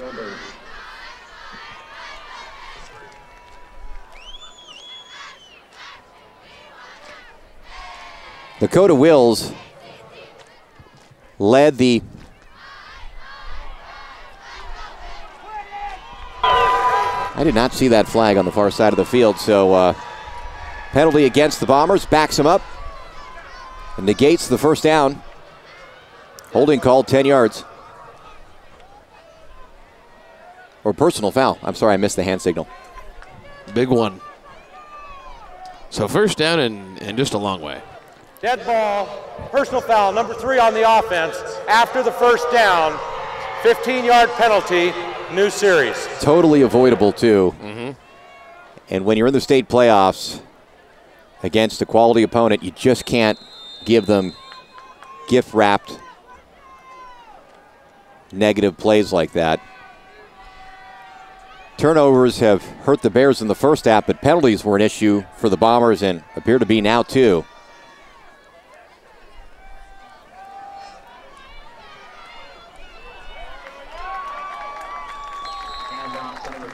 On first down, that's Kyle Whitby, who will get eight yards. And Kyle, the scat back, but he's had a lot of success against this Bears team. And I just want to clear things up for folks. That 15 yard penalty did not negate the first down. The way I worded it might have been confusing. It was still a first down, but they're backed up 15 yards. New series, right. New series, and Whitby gets eight yards there. And it seems like he's been the gasher, He's had more success. kind of running off the tackles a little bit. Stevens with three receivers to the near side skips it to Ryan Wolski. Third down. So now the third and short, third down and about two yards. This is the kind of situation where you saw Brian during the regular season on SWX. This is where more often than not they went to Lakota Wills. A short yardage situation, kind of expect him to pound it up there, but that's not where he succeeded tonight. So I think, yeah, we're, we're not we're going to see a we're going to see Kyle Whitby in the backfield.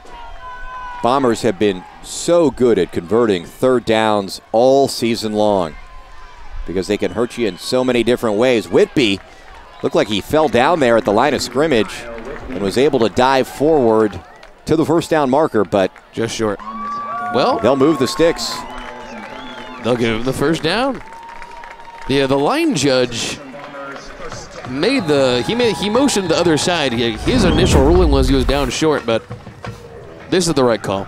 Yeah, he tripped over one of his linemen's ankles there and was able to just hold it together enough to get the first.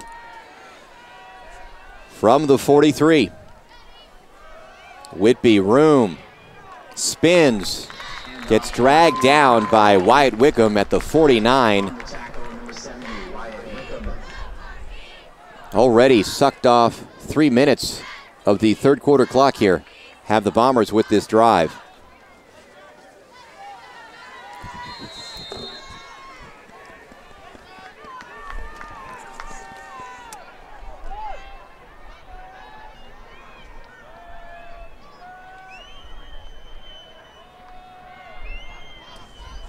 Second down. Flag on the play. Another penalty. False start on the offense. 55, five-yard penalty. Replay. Another penalty against the Bombers. And a, a drive that has uh, been clock sustaining and seemingly effective.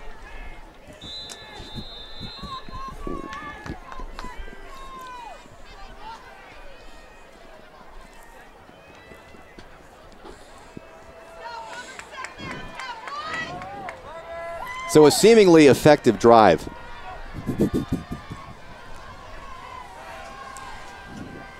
stymied a little bit by penalties. Stevens going to throw on second and eight. Passes caught by Alex Chapman.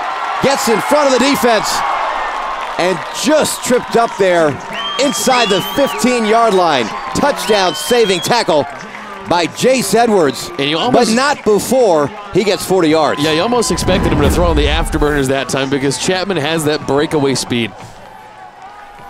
Boy, he'll split the defense in a hurry. Chapman leading the Bombers in yards per catch at 18 and a half yards per catch, second in the Mid Columbia Conference. Check that third overall this season, but he'll hurt you if you forget about him. And all of a sudden, after giving up their first point of the game, Richland here looking to respond. First and 10 from the 13. Whitby ducks under a couple of potential tacklers. Oh! Ball is loose and recovered by Central Valley. Second turnover of the game by the Bears, recovered by Terrell Harrison. Oh. Johnny on the spot. What a break for Central Valley. I think Richland is about to score a touchdown, the momentum they had built on that drive. That's huge. Let's take a look at this one more time. I'm not convinced that wasn't down by contact, but the referee has a better angle than we did. It's hard to see amongst the uh, sea of legs and jerseys, Uh, but see, I'm not sure. Well, the referee was closer. He has the right call, I'm sure. No instant replay, the high school level. First and 10 from the five yard line for the Bears. Shadow of their own goalpost here. An opportunity, and Tanner Sloan been a little bit more aggressive throwing the football, but will he this deep in his own end? Hand off to Doyle, who's been Central Valley's most effective runner, and he gives them a little breathing room out to the 10 yard line.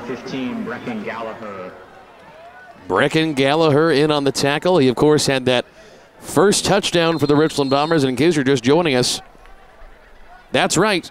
Richland's offense hasn't scored tonight. uh, hasn't scored a touchdown tonight. They have three field goals and a defensive touchdown. So Central Valley's defense has still been terrific. They actually haven't allowed a touchdown yet.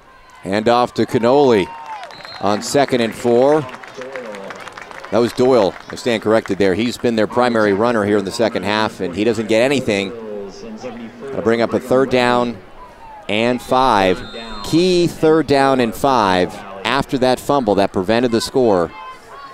At some point, the Central Valley Bears need to turn these turnovers into some points, some offense, and not just escape.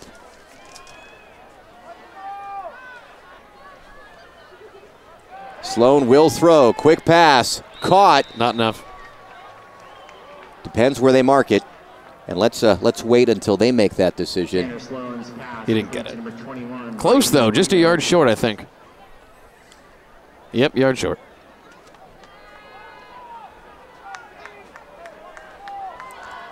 That's fourth down And Brian- and inches. Now, to your point a second ago, Brian, talking about how they need to score on these drives, the very first key to the game the coaches gave you capitalize on mistakes. Central Valley not been able to do it on offense tonight. Oh, wow. So it's fourth down and inches. If we can get a shot of that yard marker, it is not much, and they're going to punt it away. Wow. And and be careful here. They do have a great punter. This might be a possibility where they do a little trickery and see if they can't. Did Richland jump? No, they didn't do. No they flag. Didn't, they didn't take take the chance. Griffey March will catch it cleanly at the 34. Bounce around and gather seven yards. 4:07 to go before the end of the third quarter. 16 to three. Then a little bit of a chess match here in the third. First round of the WIA state playoffs on SWX. Another look at the uh, replay here of the Kyle Whitby fumble Let's look for the ball. And where his. Uh, there's just no You way to tell Yeah. where it came out. There's no way. It looks like he's down here, and then it Yeah. squirts out. Regardless, the Bears unable to convert as they were stopped on on third down. Dakota Wills, boy, he's starting to wear down that uh, front four. He gets 12 yards. Now let me bring this back to the previous position for Central Valley, if you'll allow me to, Brian. Fourth and inches. Uh, it, I'm not sure. Fourth and inches, fourth and a yard, whatever it was. If you're down a couple scores, not that you're midway through the third quarter, you got to score a touchdown. It's it's almost a little bit, not even questionable. It, it just seems like you would want to give your offense a little bit of confidence and let them try on fourth and inches. Wills got the first down on that 12 yard run, and first down from the 45 of Central Valley. And the pass here could go the distance. Not quite. Stopped at the 15 yard line. Ryan Piper, sophomore wide receiver. It's like he's got a whole toolbox full of receivers to go to at any point, and he'll cut you up in so many different ways and make you bleed. and they brought the blitz. Four or five guys breaking into the backfield that time. He recognized the blitz, read the coverage, go into his safety blanket on the near side. Great job also of handling a low snap there and getting that ball quickly to Piper for the first down and the extra yards he was able to make happen afterward. First and 10 from the 15. Same thing. Quick pass deflected there. Now And this the- that was uh, Chase Gilbert, by the way. That's how this Bears team hurts you. Deflecting passes, getting in the lane, and making that six points the other way. Well, that's the thing. The, the last couple of plays that they've been doing. Look, look- now look at the defensive line. They haven't been going up the middle. They've been going to the outside, trying to beat the beat the beat the beat the tackles around the outside, trying to get to the quarterback that way and deflect a screen pass. They're not rushing up the middle. They're going around the outside. But now look at Lakota Wills in the backfield. They might run him up the gut here.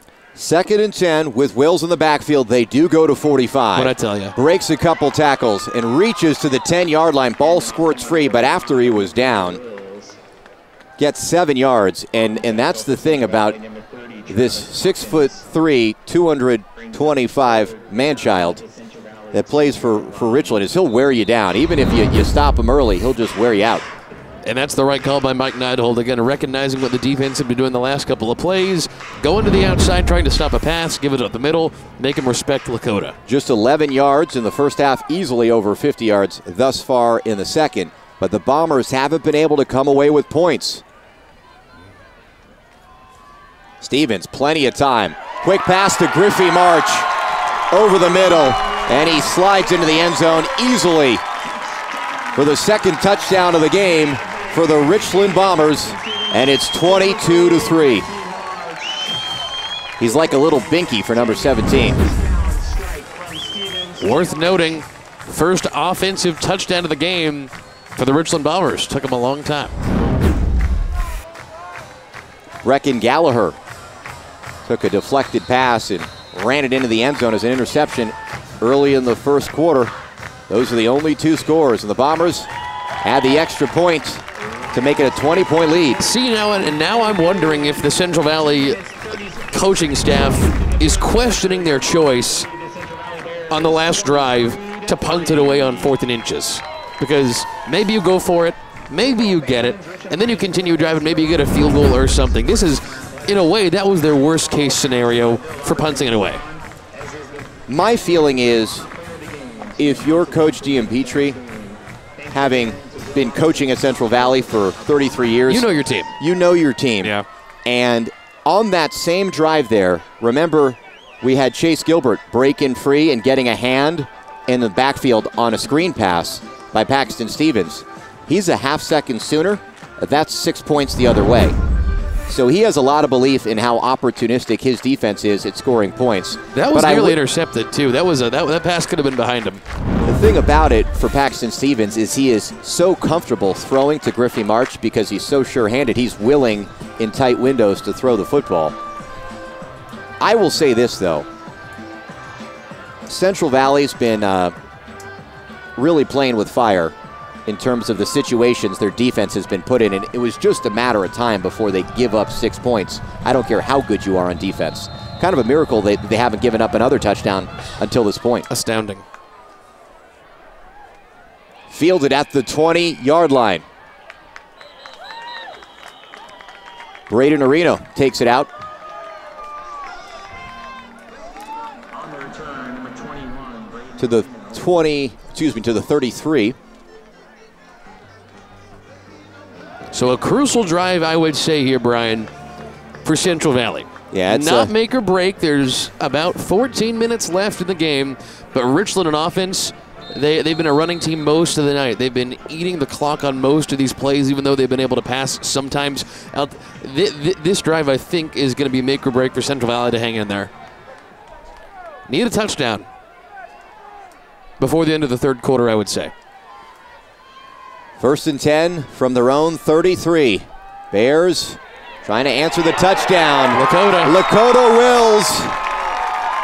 Offense, defense, it doesn't matter. He'll make a difference no matter what. down, number 10, Tanner. I know that's at least his second sack.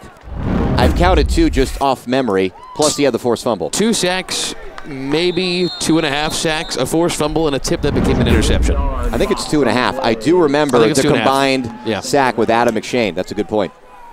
But he is he is just uh, he's indefensible.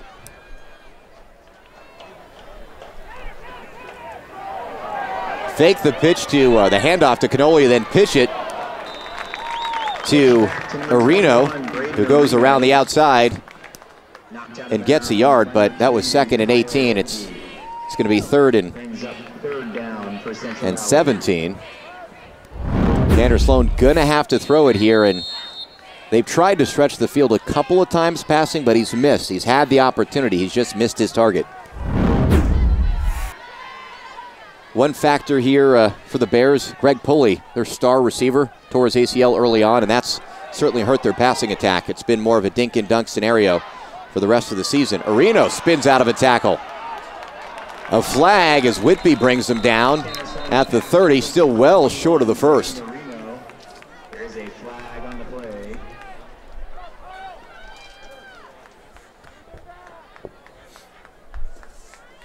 And a Central Valley football player down. Can't get a good look at the numbers, but a couple of the staff. back, number 12 on the offense. So block in the back. That's against Central Valley. I saw a hold on the Central Valley defense. Uh, I wonder offensive who's line, down too. there. I hope that's not Tanner Sloan. That's right about where he would have been throwing the football from, their starting quarterback.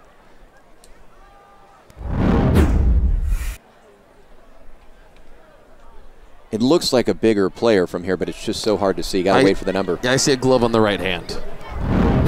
That wouldn't be a back. He has declined. Fourth down. So the penalty against the Bears, which was a block in the back decline to bring up fourth down. And the injured player, one of the linemen for Central Valley.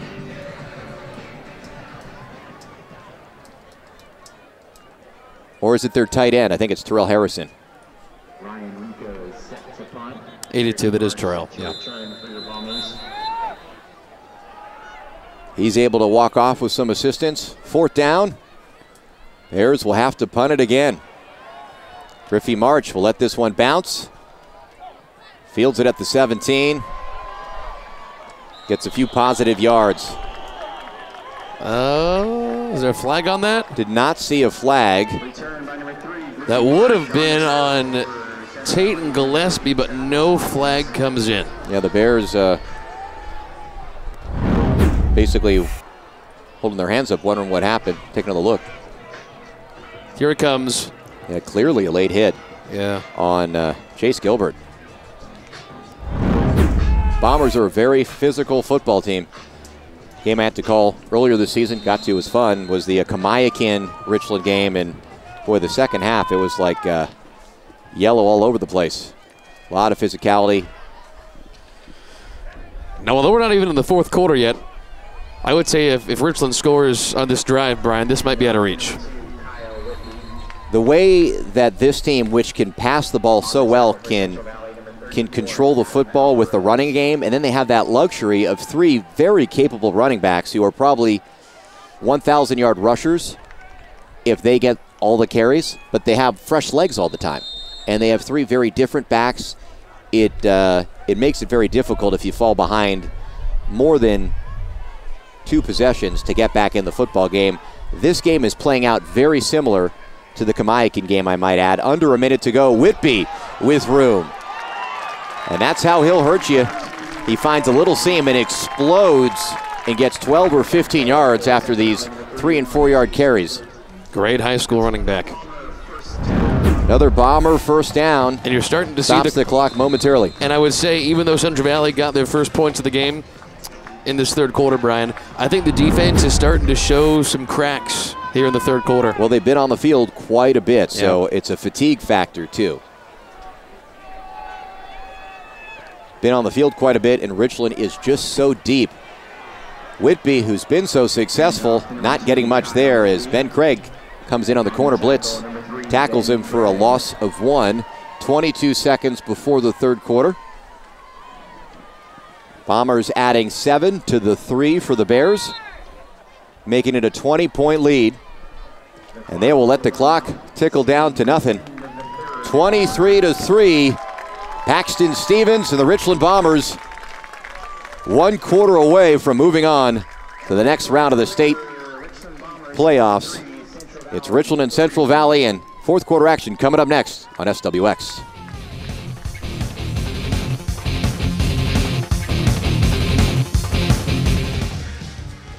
Bombers have it, second and 11. From their own 36 yard line. Paxton Stevens running for just the second time in the football game. Gets just across the line of scrimmage. I think that was a broken play, but uh, Paxton Stevens had a great first half. And then he finally connected with Griffey March for a touchdown here in the third quarter to put this game a little further out of the reach of the Bears. Not quite ready to say this one is done, but with the way the Bombers can run the football and the way they've been playing defense against Central Valley, it's not going to be easy. Hand off to Whitby. Huge hole. Still going. And cut down at the 25 yard line. Officially marked down at the 23. Well, you might not say it, Brian, but I'll say it. If Richland scores a touchdown, this game I think is done. 41 yard run from Kyle Whitby. And the Richland Bombers, they're driving to the side of the field with their student section, with all the Richland fans in attendance. They've got the momentum here, right about in the red zone. Four receivers in Elgin in the backfield. Stevens fakes the handoff, runs up the middle, gets two yards. 17, Paxton Stevens. On the tackle for Central Valley, number 80, Jaden Russ.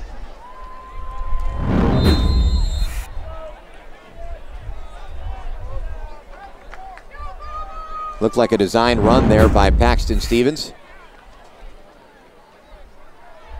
Who has some athletic ability, but being a very tall, lanky quarterback, not a mobile QB by trade. Good room. Pass caught by Ryan Wolski at the 10 yard line. And Ryan Wolski, by the way, is a Griffey March in training. Saw him make a couple of pass uh, catches just like that against Kamiakin a few weeks ago, and he can make those those tough back shoulder catches like that. And it, he bobbled it midway down on that catch and somehow able to rein it in. That is that is beyond his years. I think he's got stickum on his gloves, but they have some sure-handed receivers here at Richland High School. Stevens will run. Going off the guard inside the five yard line. A flag goes up in the air. Flag on the play. It looked like it was away from the run. Ball down to the Central, Central Valley five-yard line. On the tackle was number 50. It'll be second and five, Kerrigan. Depending on what the penalty is. Personal foul, number 76 on the offense. Hands to the face. Dante Powell getting whistled. That was away from the football by about 10 yards. And uh, it'll be second and 20 now. And penalties again, along with his Central Valley defense. One of the reasons why Richland doesn't have more than one offensive touchdown. Absolutely true. And you know, with all the all the, all the defensive penalties they've committed, kind of surprised that Central Valley hasn't been able to turn in a touchdown of their own. In a way, it gives Paxton Stevens a little more room to operate. He'll hand off to McLean Elgin. It's, it's first and 20. On the tackle, number Bears with the ball on the five yard line deciding to take the penalty, the 15 yard personal foul penalty, and uh, allow the Bombers to have a, another first down opportunity, which results in just a one yard gain.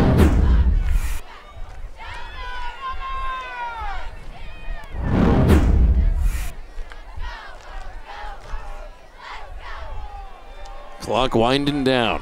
Bears really need a stop here if they want to keep their season alive. Stevens rolling out off his back foot, threw it away in the vicinity of Brecken Gallagher, his tight end. Kind of took a little deep breath there, wondering if he was going to do another back footer into traffic like he did in the first half, and he was smart enough to throw it where no one could get it. And here's where the Richland Bombers are arguably the most team to be frightened of in the Mid Columbia Conference. You know, even if you do stop them here, like I said, even if you do manage to stop them here, Brian, and force a fourth down from, say, I don't know, the 40 yard line, they've already made a field goal from there. They have a legitimate field goal unit, the only one in, in the Tri Cities area. So, you know, stopping them on the 20 yard line might be enough to, to beat a team like, like Southridge during the regular season in the MCC or a team like Pasco. That is not enough against a team like Richland. They will kick field goals and beat you that way. 25 yards in penalties. Backs the Bombers up to the 37 yard line. Low snap. Stevens picks it up. Quick pass is intercepted and booted up in the air. They're Oh, going to say they're going to say that was incomplete. I thought it would have been a fumble and the ball was loose. And wow, the uh, cornerback there for the uh, Central Valley Bears, Jace Edwards, and it looked like Rhett Levin got a little tangled up. Was that Levin or March? I couldn't get a good look. I think I saw March. Might have been March. It's yeah, March. it was March. He was running right at the football as a timing route and ended up hitting Edwards, who had position to catch the ball.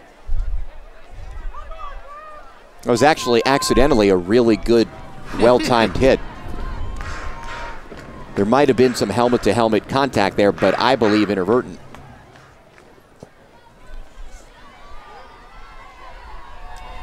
Third down and goal from the 37. Stevens will let it fly to Griffey March, wide open. Makes one guy miss, and he'll dance on in for another six. 37 yard touchdown strike on third down and a country mile. Nail in the coffin for the Central Valley Bears. Great season for them, but Paxton Stevens and Griffey March on their second touchdown hookup just ended this game. So much space, man. How do you get that much space? How do you leave him open that much?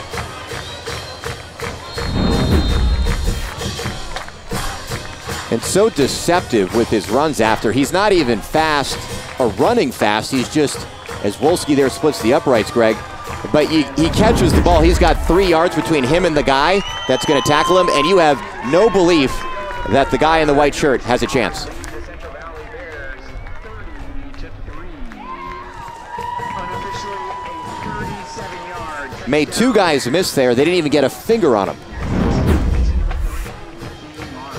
How excellent has he been tonight? Second touchdown catch of the game for Griffey March. His sixth on the season. He's approaching 100 yards receiving. And to do it against yet. this Central Valley Bears defense, how good they are playing the, the pass.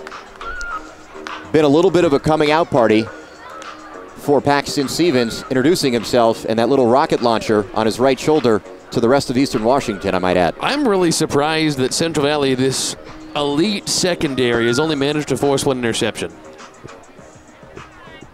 But then again, Stevens, minus the cannon, he's also accurate. And he's worked with these receivers for years. Well, I don't know about yours, starting junior. I mean, through, through, through youth football. Sure, that's a good point. Those are the guys through youth football. They've played together in the past. Look at me arguing with you. Oh, please. Just tell me to be quiet. Kickoff fielded by, or attempted to be fielded by Canoli, who, who lets it bounce and then grabs it at the four. Puts his head down and makes it an eight yard return. Bears at this point playing for pride, and one has to believe it'll be hibernation time. With 8:51 to go, down 30 to three to the Richland Bombers. For this Central Valley team, you know, losing arguably your best offensive weapon, Greg Pulley, to a torn ACL early in the season. Just finding a way and grinding out what will likely be a- an eight and three season, ripping off three straight wins coming into the playoffs. Tanner Sloan with time. Quick pass to the outside. Caught by Braden Areno. Pass complete to number 21, Braden Areno. Knocked out of bounds by number 8, Alex. And on first and 10, they get two yards to make it second and eight.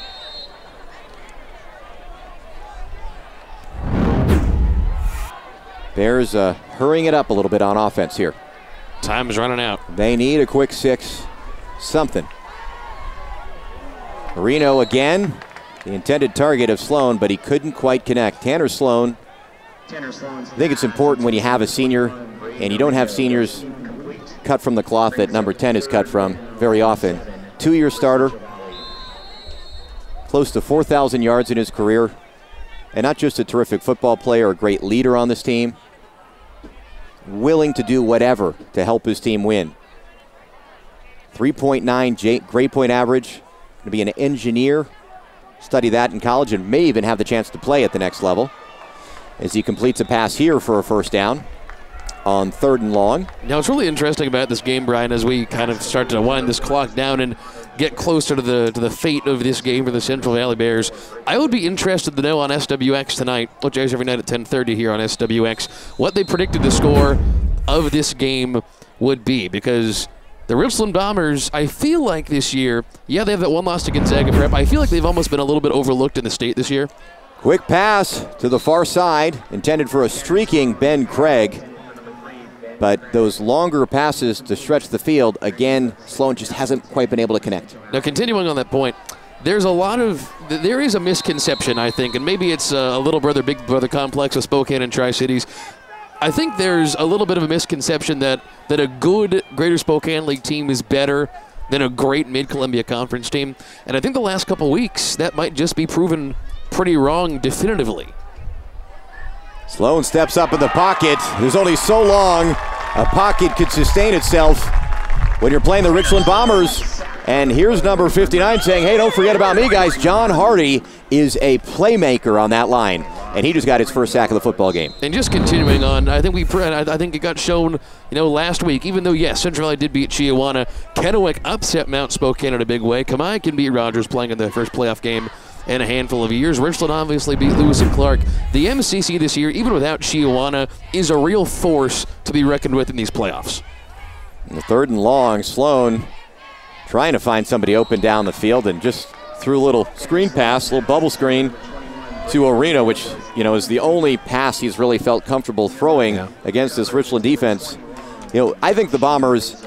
I haven't seen some of those teams on the. There's number 70, by the way, who was hurt earlier. Wyatt Wickham So I thought it was 82, Terrell Harrison. It was hard to see his numbers. Uh, but uh, Wyatt Wickham, the freshman offensive lineman who's been starting on crutches, and so you hate to see that, but you hope it's nothing too serious and he can be back ready to go next season. Has such a promising career at Central Valley High School. Yet another freshman starting already. Griffey March fields it on the run and scoots across midfield to the 47. 7:37 left in the third, in the fourth quarter. 30 to three. Richland comfortably in front. We'll be back for the finale here, the big finish on SWX from Lampson Stadium.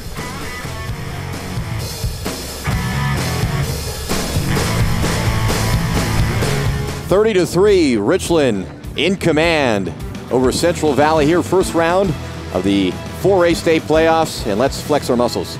And tonight's player of the game is brought to you by Max Muscle Sports Nutrition, located in front of Gold, Gold's Gym in Richland. Set a goal, make a plan, get results. Max Muscle, a proud sponsor of high school sports on SWX. No question, Griffey March. He can make catches in really tight spaces. No space. Doesn't lose concentration when you're going over the middle with a lot of white jerseys around you. That can just make you nervous. And uh, when he gets the ball, give him just a little bit of room. He's not a, a burner, but he is fast, and it's almost better to be quick than fast on a football field. That's what he is, and deceptive after the catch. Got a new running back in for the Richland Bombers. Victor Strasser going to get some opportunities with the 27 point lead for the Bombers. They, uh, of course, taking on Central Valley here in the first round of the state playoffs. The second time ever that these two schools have played each other. The only other time was also in the postseason, a crossover game back in 2008, won by Rick Giampietri and the Bears, 35 to 21. A different script written tonight. As Strasser Gets a couple of more to bring up third and three. So with Richland moving on uh, with a win in this game against Central Valley, looking ahead, we know one of two teams they could be playing. Uh, looking at this coming up, uh, the game for the teams they'll face is tomorrow at 2 o'clock, Moses Lake or Bellarmine Prep. You got to think it's going to be Bellarmine Prep, a traditionally very good football team. And Moses Lake lost to Southridge this year. Moses Lake, a little bit on a down year, still made the playoffs. Got to imagine next week it'll be Richland against Bellarmine Prep. Paxton Stevens still in at quarterback. He's keeping that arm warm. And you know, you look at this Bomber football team, this is the fun part, I think, about high school football is in a state like Washington, everybody just has impressions based on population, uh, based on traditions or coaches at different schools, and recruiting and all the other stuff that goes on uh, about what different teams in different regions can do. And you can look at stats for players and really get confused. And when you look at a Paxton Stevens, for example, just 13 touchdowns, 1,700 yards passing coming into this game. I'm not exactly a, a, talent evaluator, but you'd have to be blind to not know this kid could play Division 1 AA or 1A football. On the fake, Wolski. They try to fake it on fourth down and don't get it. He goes out of bounds, so Central Valley will take over on downs. And forgive me for talking over some plays here with the game a little bit in hand. I think there's just some things to, to forward think about. But this Richland team, I think, them being ranked sixth is a situation where they're they're just being penalized for a loss against one of the best teams in the state. Undefeated Gonzaga Prep. And a loss that almost was it because they missed two field goals in that game. Three point game. In a three point game. And he had a quarterback, a very talented quarterback, who had never started a football game in his life and had 14 practices under his belt because he had a broken back all spring and summer. I think Paxton Stevens should stick to throwing footballs at quarterback rather than dunking basketballs. I don't think that's going to be a problem this winter. I think he's going to stick to throwing footballs. Wouldn't worry. Tanner Sloan, the starting quarterback for the Central Valley Bears. Probably his last game in the Columbia blue and white as the flag goes up in the air. Sloan coached by his father, Rick Sloan, as I said earlier. False start on the offense, number 57, five yard penalty. So the five yard penalty backs him up a little bit, but Rick Sloan, the offensive coordinator for Central Valley, also the head basketball coach for the Bears. And uh, Tanner Sloan is one of their three point marksmen. So, uh, great article in the spokesman uh, earlier this week, just talking about that relationship.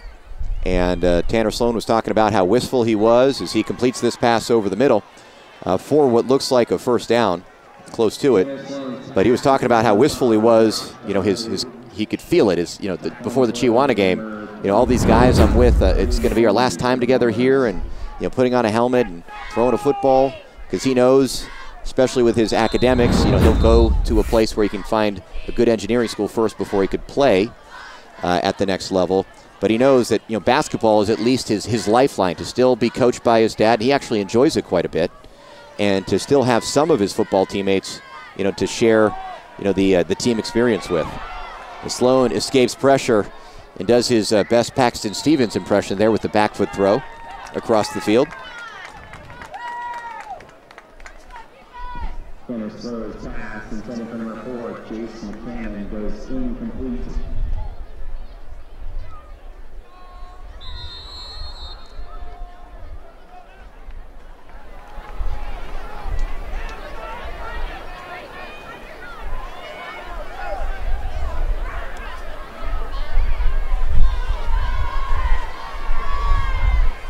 On second and 10, Sloan with time.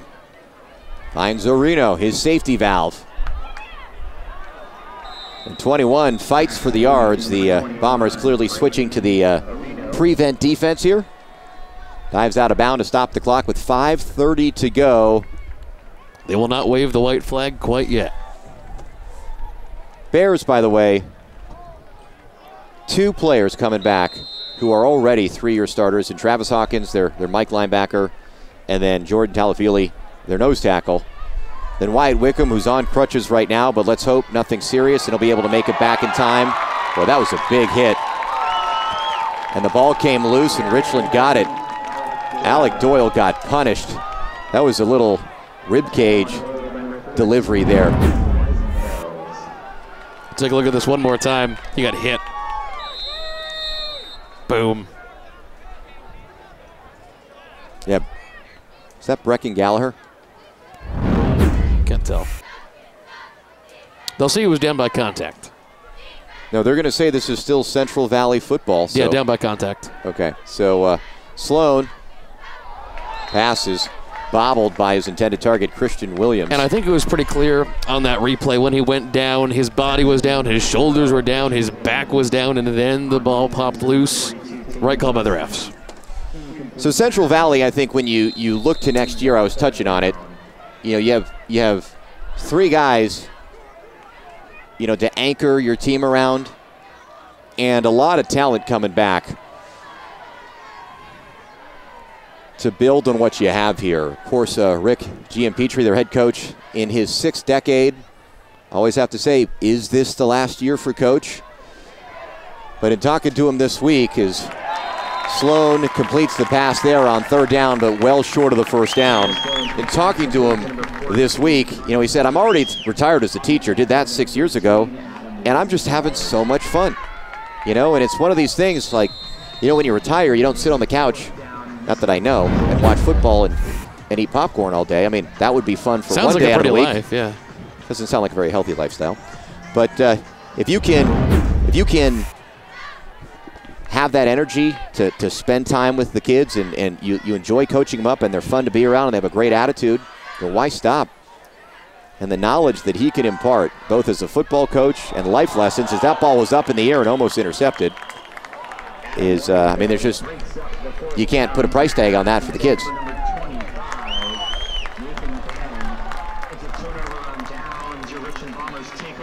Four oh six to go. Richland Bombers will take over on downs. Talked about it already. Both these teams have great traditions. The Richland Bombers winning state championships in 1999, the last time. Lonnie Pearson was their head coach, and the first time in 81 when J.D. Covington was in charge. 4A state runner-ups twice. Central Valley, their only state championship coming under man across the field from us here, Rick Giampietri. So Richland continues to operate out of the shotgun. But they'll keep handing off, run the clock. Just drain it down a little bit, giving a lot of the underclassmen a little opportunity. Ben Stanfield there. Actually a junior, so not an underclassman. And uh, I did not see Paxton Stephen is still in the football game there. Don't want to hand it off quite yet. But anyways, this Richland team is going to play the winner of Bellarmine Prep Moses Lake. They're playing at Moses Lake tomorrow at 2 o'clock. Lions Field.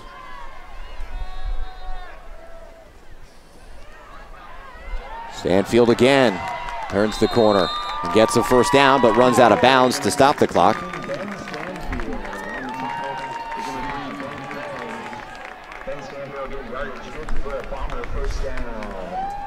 I'm going to tell you this. I remember the Chiawana Richland game we did, first one we did together last year, and the, the, yeah, that, that early game last year. And I'm going to say this: they lost that game, and it was a little bit of a blowout by the final score, kind of like this game here. Yeah. But they were in it a lot more than it appeared, and uh, I could tell right then Uh, against Richland, Chiawana, yeah. at Chiawana, and I remember thinking to myself then, this Bombers team is, you know, a couple of players away this year. As uh, Whitby just runs up the middle for another first down. Excuse me, Stanfield. But uh, I remember thinking right then, this team's going to be special this year. And I know talking to Coach Neidhold this week, and I don't know if you have the same situation. You know, I said, Coach, a lot of guys out there are saying this is the year you guys break through. Oh, this is the year. And you know what he said? I want to talk to you about Central Valley. And then I said, thanks, Bill Belichick. That's funny. Stanfield again. Stanfield again on the run, and Paxton Stevens has been pulled there, and he'll take a seat after a very successful evening. Kate Jensen now the quarterback, sophomore. Boy, Paxton Stevens had 155 yards in the first half. He had at least that in the second half, and a couple of touchdowns. But you're talking about two touchdowns, one interception, and close to 300 yards passing. Probably completing 60% of his passes against Central Valley. Against an elite secondary. 25 interceptions. I couldn't find the site myself, but Coach Giampietri told me that one of his players or coaches said that they had a, a national stat site that said they had the most interceptions of any team in the country. I would believe that. You're, There- lu- no, you're lucky to have one interception a game, which at this point in the season would be 10 interceptions. And then, then to think about what a junior quarterback and Griffey March and all these other receivers were able to do against that secondary. No, this Richland team is real. Like, if you haven't watched them before on SWX, this is only the second time we've had them on this season. You've been watching a, a team that has a real chance to go deep in the state playoffs. I'm talking maybe semifinals here, maybe more based on tonight. Because don't forget, although Richland here, although they're ranked number six, we know they're that good. Central Valley entering tonight ranked just behind them in the most recent Seattle Times poll. This is the game you're watching. This is the number six team in the in the state against the number seven team in the state. And if they're doing that to number seven, Richland can go deep. I, I thought just, you know, playing the score game, which is always dangerous math, but losing 13-10 to Gonzaga Prep at the beginning of the season, and clearly a young team and better at this point, and losing a game when you missed two field goals, and then Central Valley losing 35-13 a month ago, that clearly that ranking was skewed. And you know if they make the final four, who they're going to meet in their bracket, right, Brian? The Bullpups. So that'll be uh, Yep. that'll be a fun football game. We can only hope both teams stay alive and we can bring that to you on SWX because, man, what a great game that would be. Great rematch capability. Under a minute to go in the fourth quarter and in the season for the Central Valley Bears, who will finish up at 8 and 3. And despite a disappointing loss here to Richland at Lampson Stadium tonight in the Tri Cities, a lot to take away from this season. A defensive minded team that grinded and took advantage of opportunities to claw their way into the state playoffs after losing their top offensive threat early on in the season did not make excuses after that last run there by Eric Walters. The clock will tick down to zeros, and Richland will win it. The Bombers advance to the second round of the WIAA 4A state playoffs. Well, they will face the winner of Prep and Moses Lake tomorrow afternoon. Richland has reeled off 10 straight wins, 10 straight wins since a season opening loss to the Gonzaga Prep Bullpups.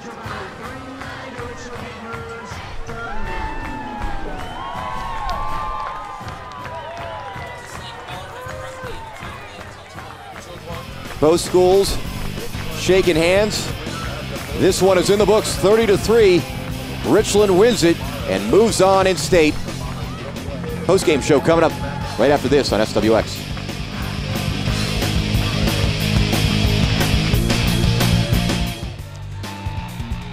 Richland Bombers walking off Lampson, the field at Lampson Stadium, victorious 30 to 3.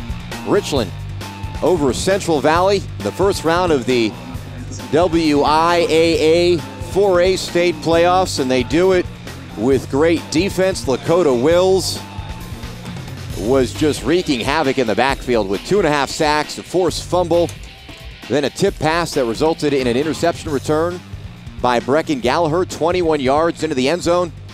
And then in the second half, it was Paxton Stevens and Griffey March putting on a show with a couple of big touchdown passes. Our very own Greg Talbot is down on the field now with the head coach of the winning Richland Bombers. Gregors, take it away. Hey, thank you, Brian. Back here with Mike Neidhold, head coach of the Bombers. Coach, we were talking about this during the broadcast. Coming into this game, Central Valley, 25 interceptions this season. That's one of the most elite secondaries, Yeah. not only in the state, sure. but in the whole country. How did you exploit that? Only give up one interception and manage to get a couple of touchdowns against them. Um, I don't know. Our kids just play. Our, you know, it's a credit to our sta- our coaching staff. They've made some adjustments at halftime, and we were able to run the ball, um, get- keep the ball on the ground, burn some clock. Um, uh, you know, and our, our quarterback's pretty good to not throw, throw the ball to the bad guys. And when he did, that was a desperation throw. It kind of worked out like a punt. So Yeah. we'll, we'll, we'll take that one. Central Valley, the number seven team in the state, you guys made pretty quick work of them. Uh, what are you most proud of of your team tonight? I'm most proud of our coaching staff. Uh, they came in at halftime. We weren't running the ball very well. They came in at halftime, made some great adjustments. Real proud of our defensive staff for come up with a great, a great, uh, great game plan. How about a 57-yard field goal? Yeah, no kidding. That's unreal. No you know, kidding. that kid hit that thing. Yeah. That was awesome. It was kind of like, wow, that was cool. you know, so, uh, you know, I'm, I'm proud of our kids. I'm proud of our student body. We had a great crowd tonight. Uh, you know, it's just a great, great win for Richland. Thank you, Mike. We'll see you in the next you. round. Thank you. Thank you very much. Hilarious. Ryan, uh, Brian, back to you. Mike Neidhold, head coach of the Bombers, and the uh, the only Bomber alum to become a head coach at Richland and a member of the state runner-up team back in 1975. Perhaps has his best opportunity to uh, take a team he's coached deep into the state playoffs. 30 to three, the final tonight. Richland on top of Central Valley. Bombers will take on either Bellarmine Prep or Moses Lake next week, and better believe SWX is going to have only the best playoff action next week. So tune in for that. For Greg Talbot, our entire production crew, my name is Brian Levitan. Thanks so much to our viewers both in Spokane and Tri Cities for making us a part of your Friday night.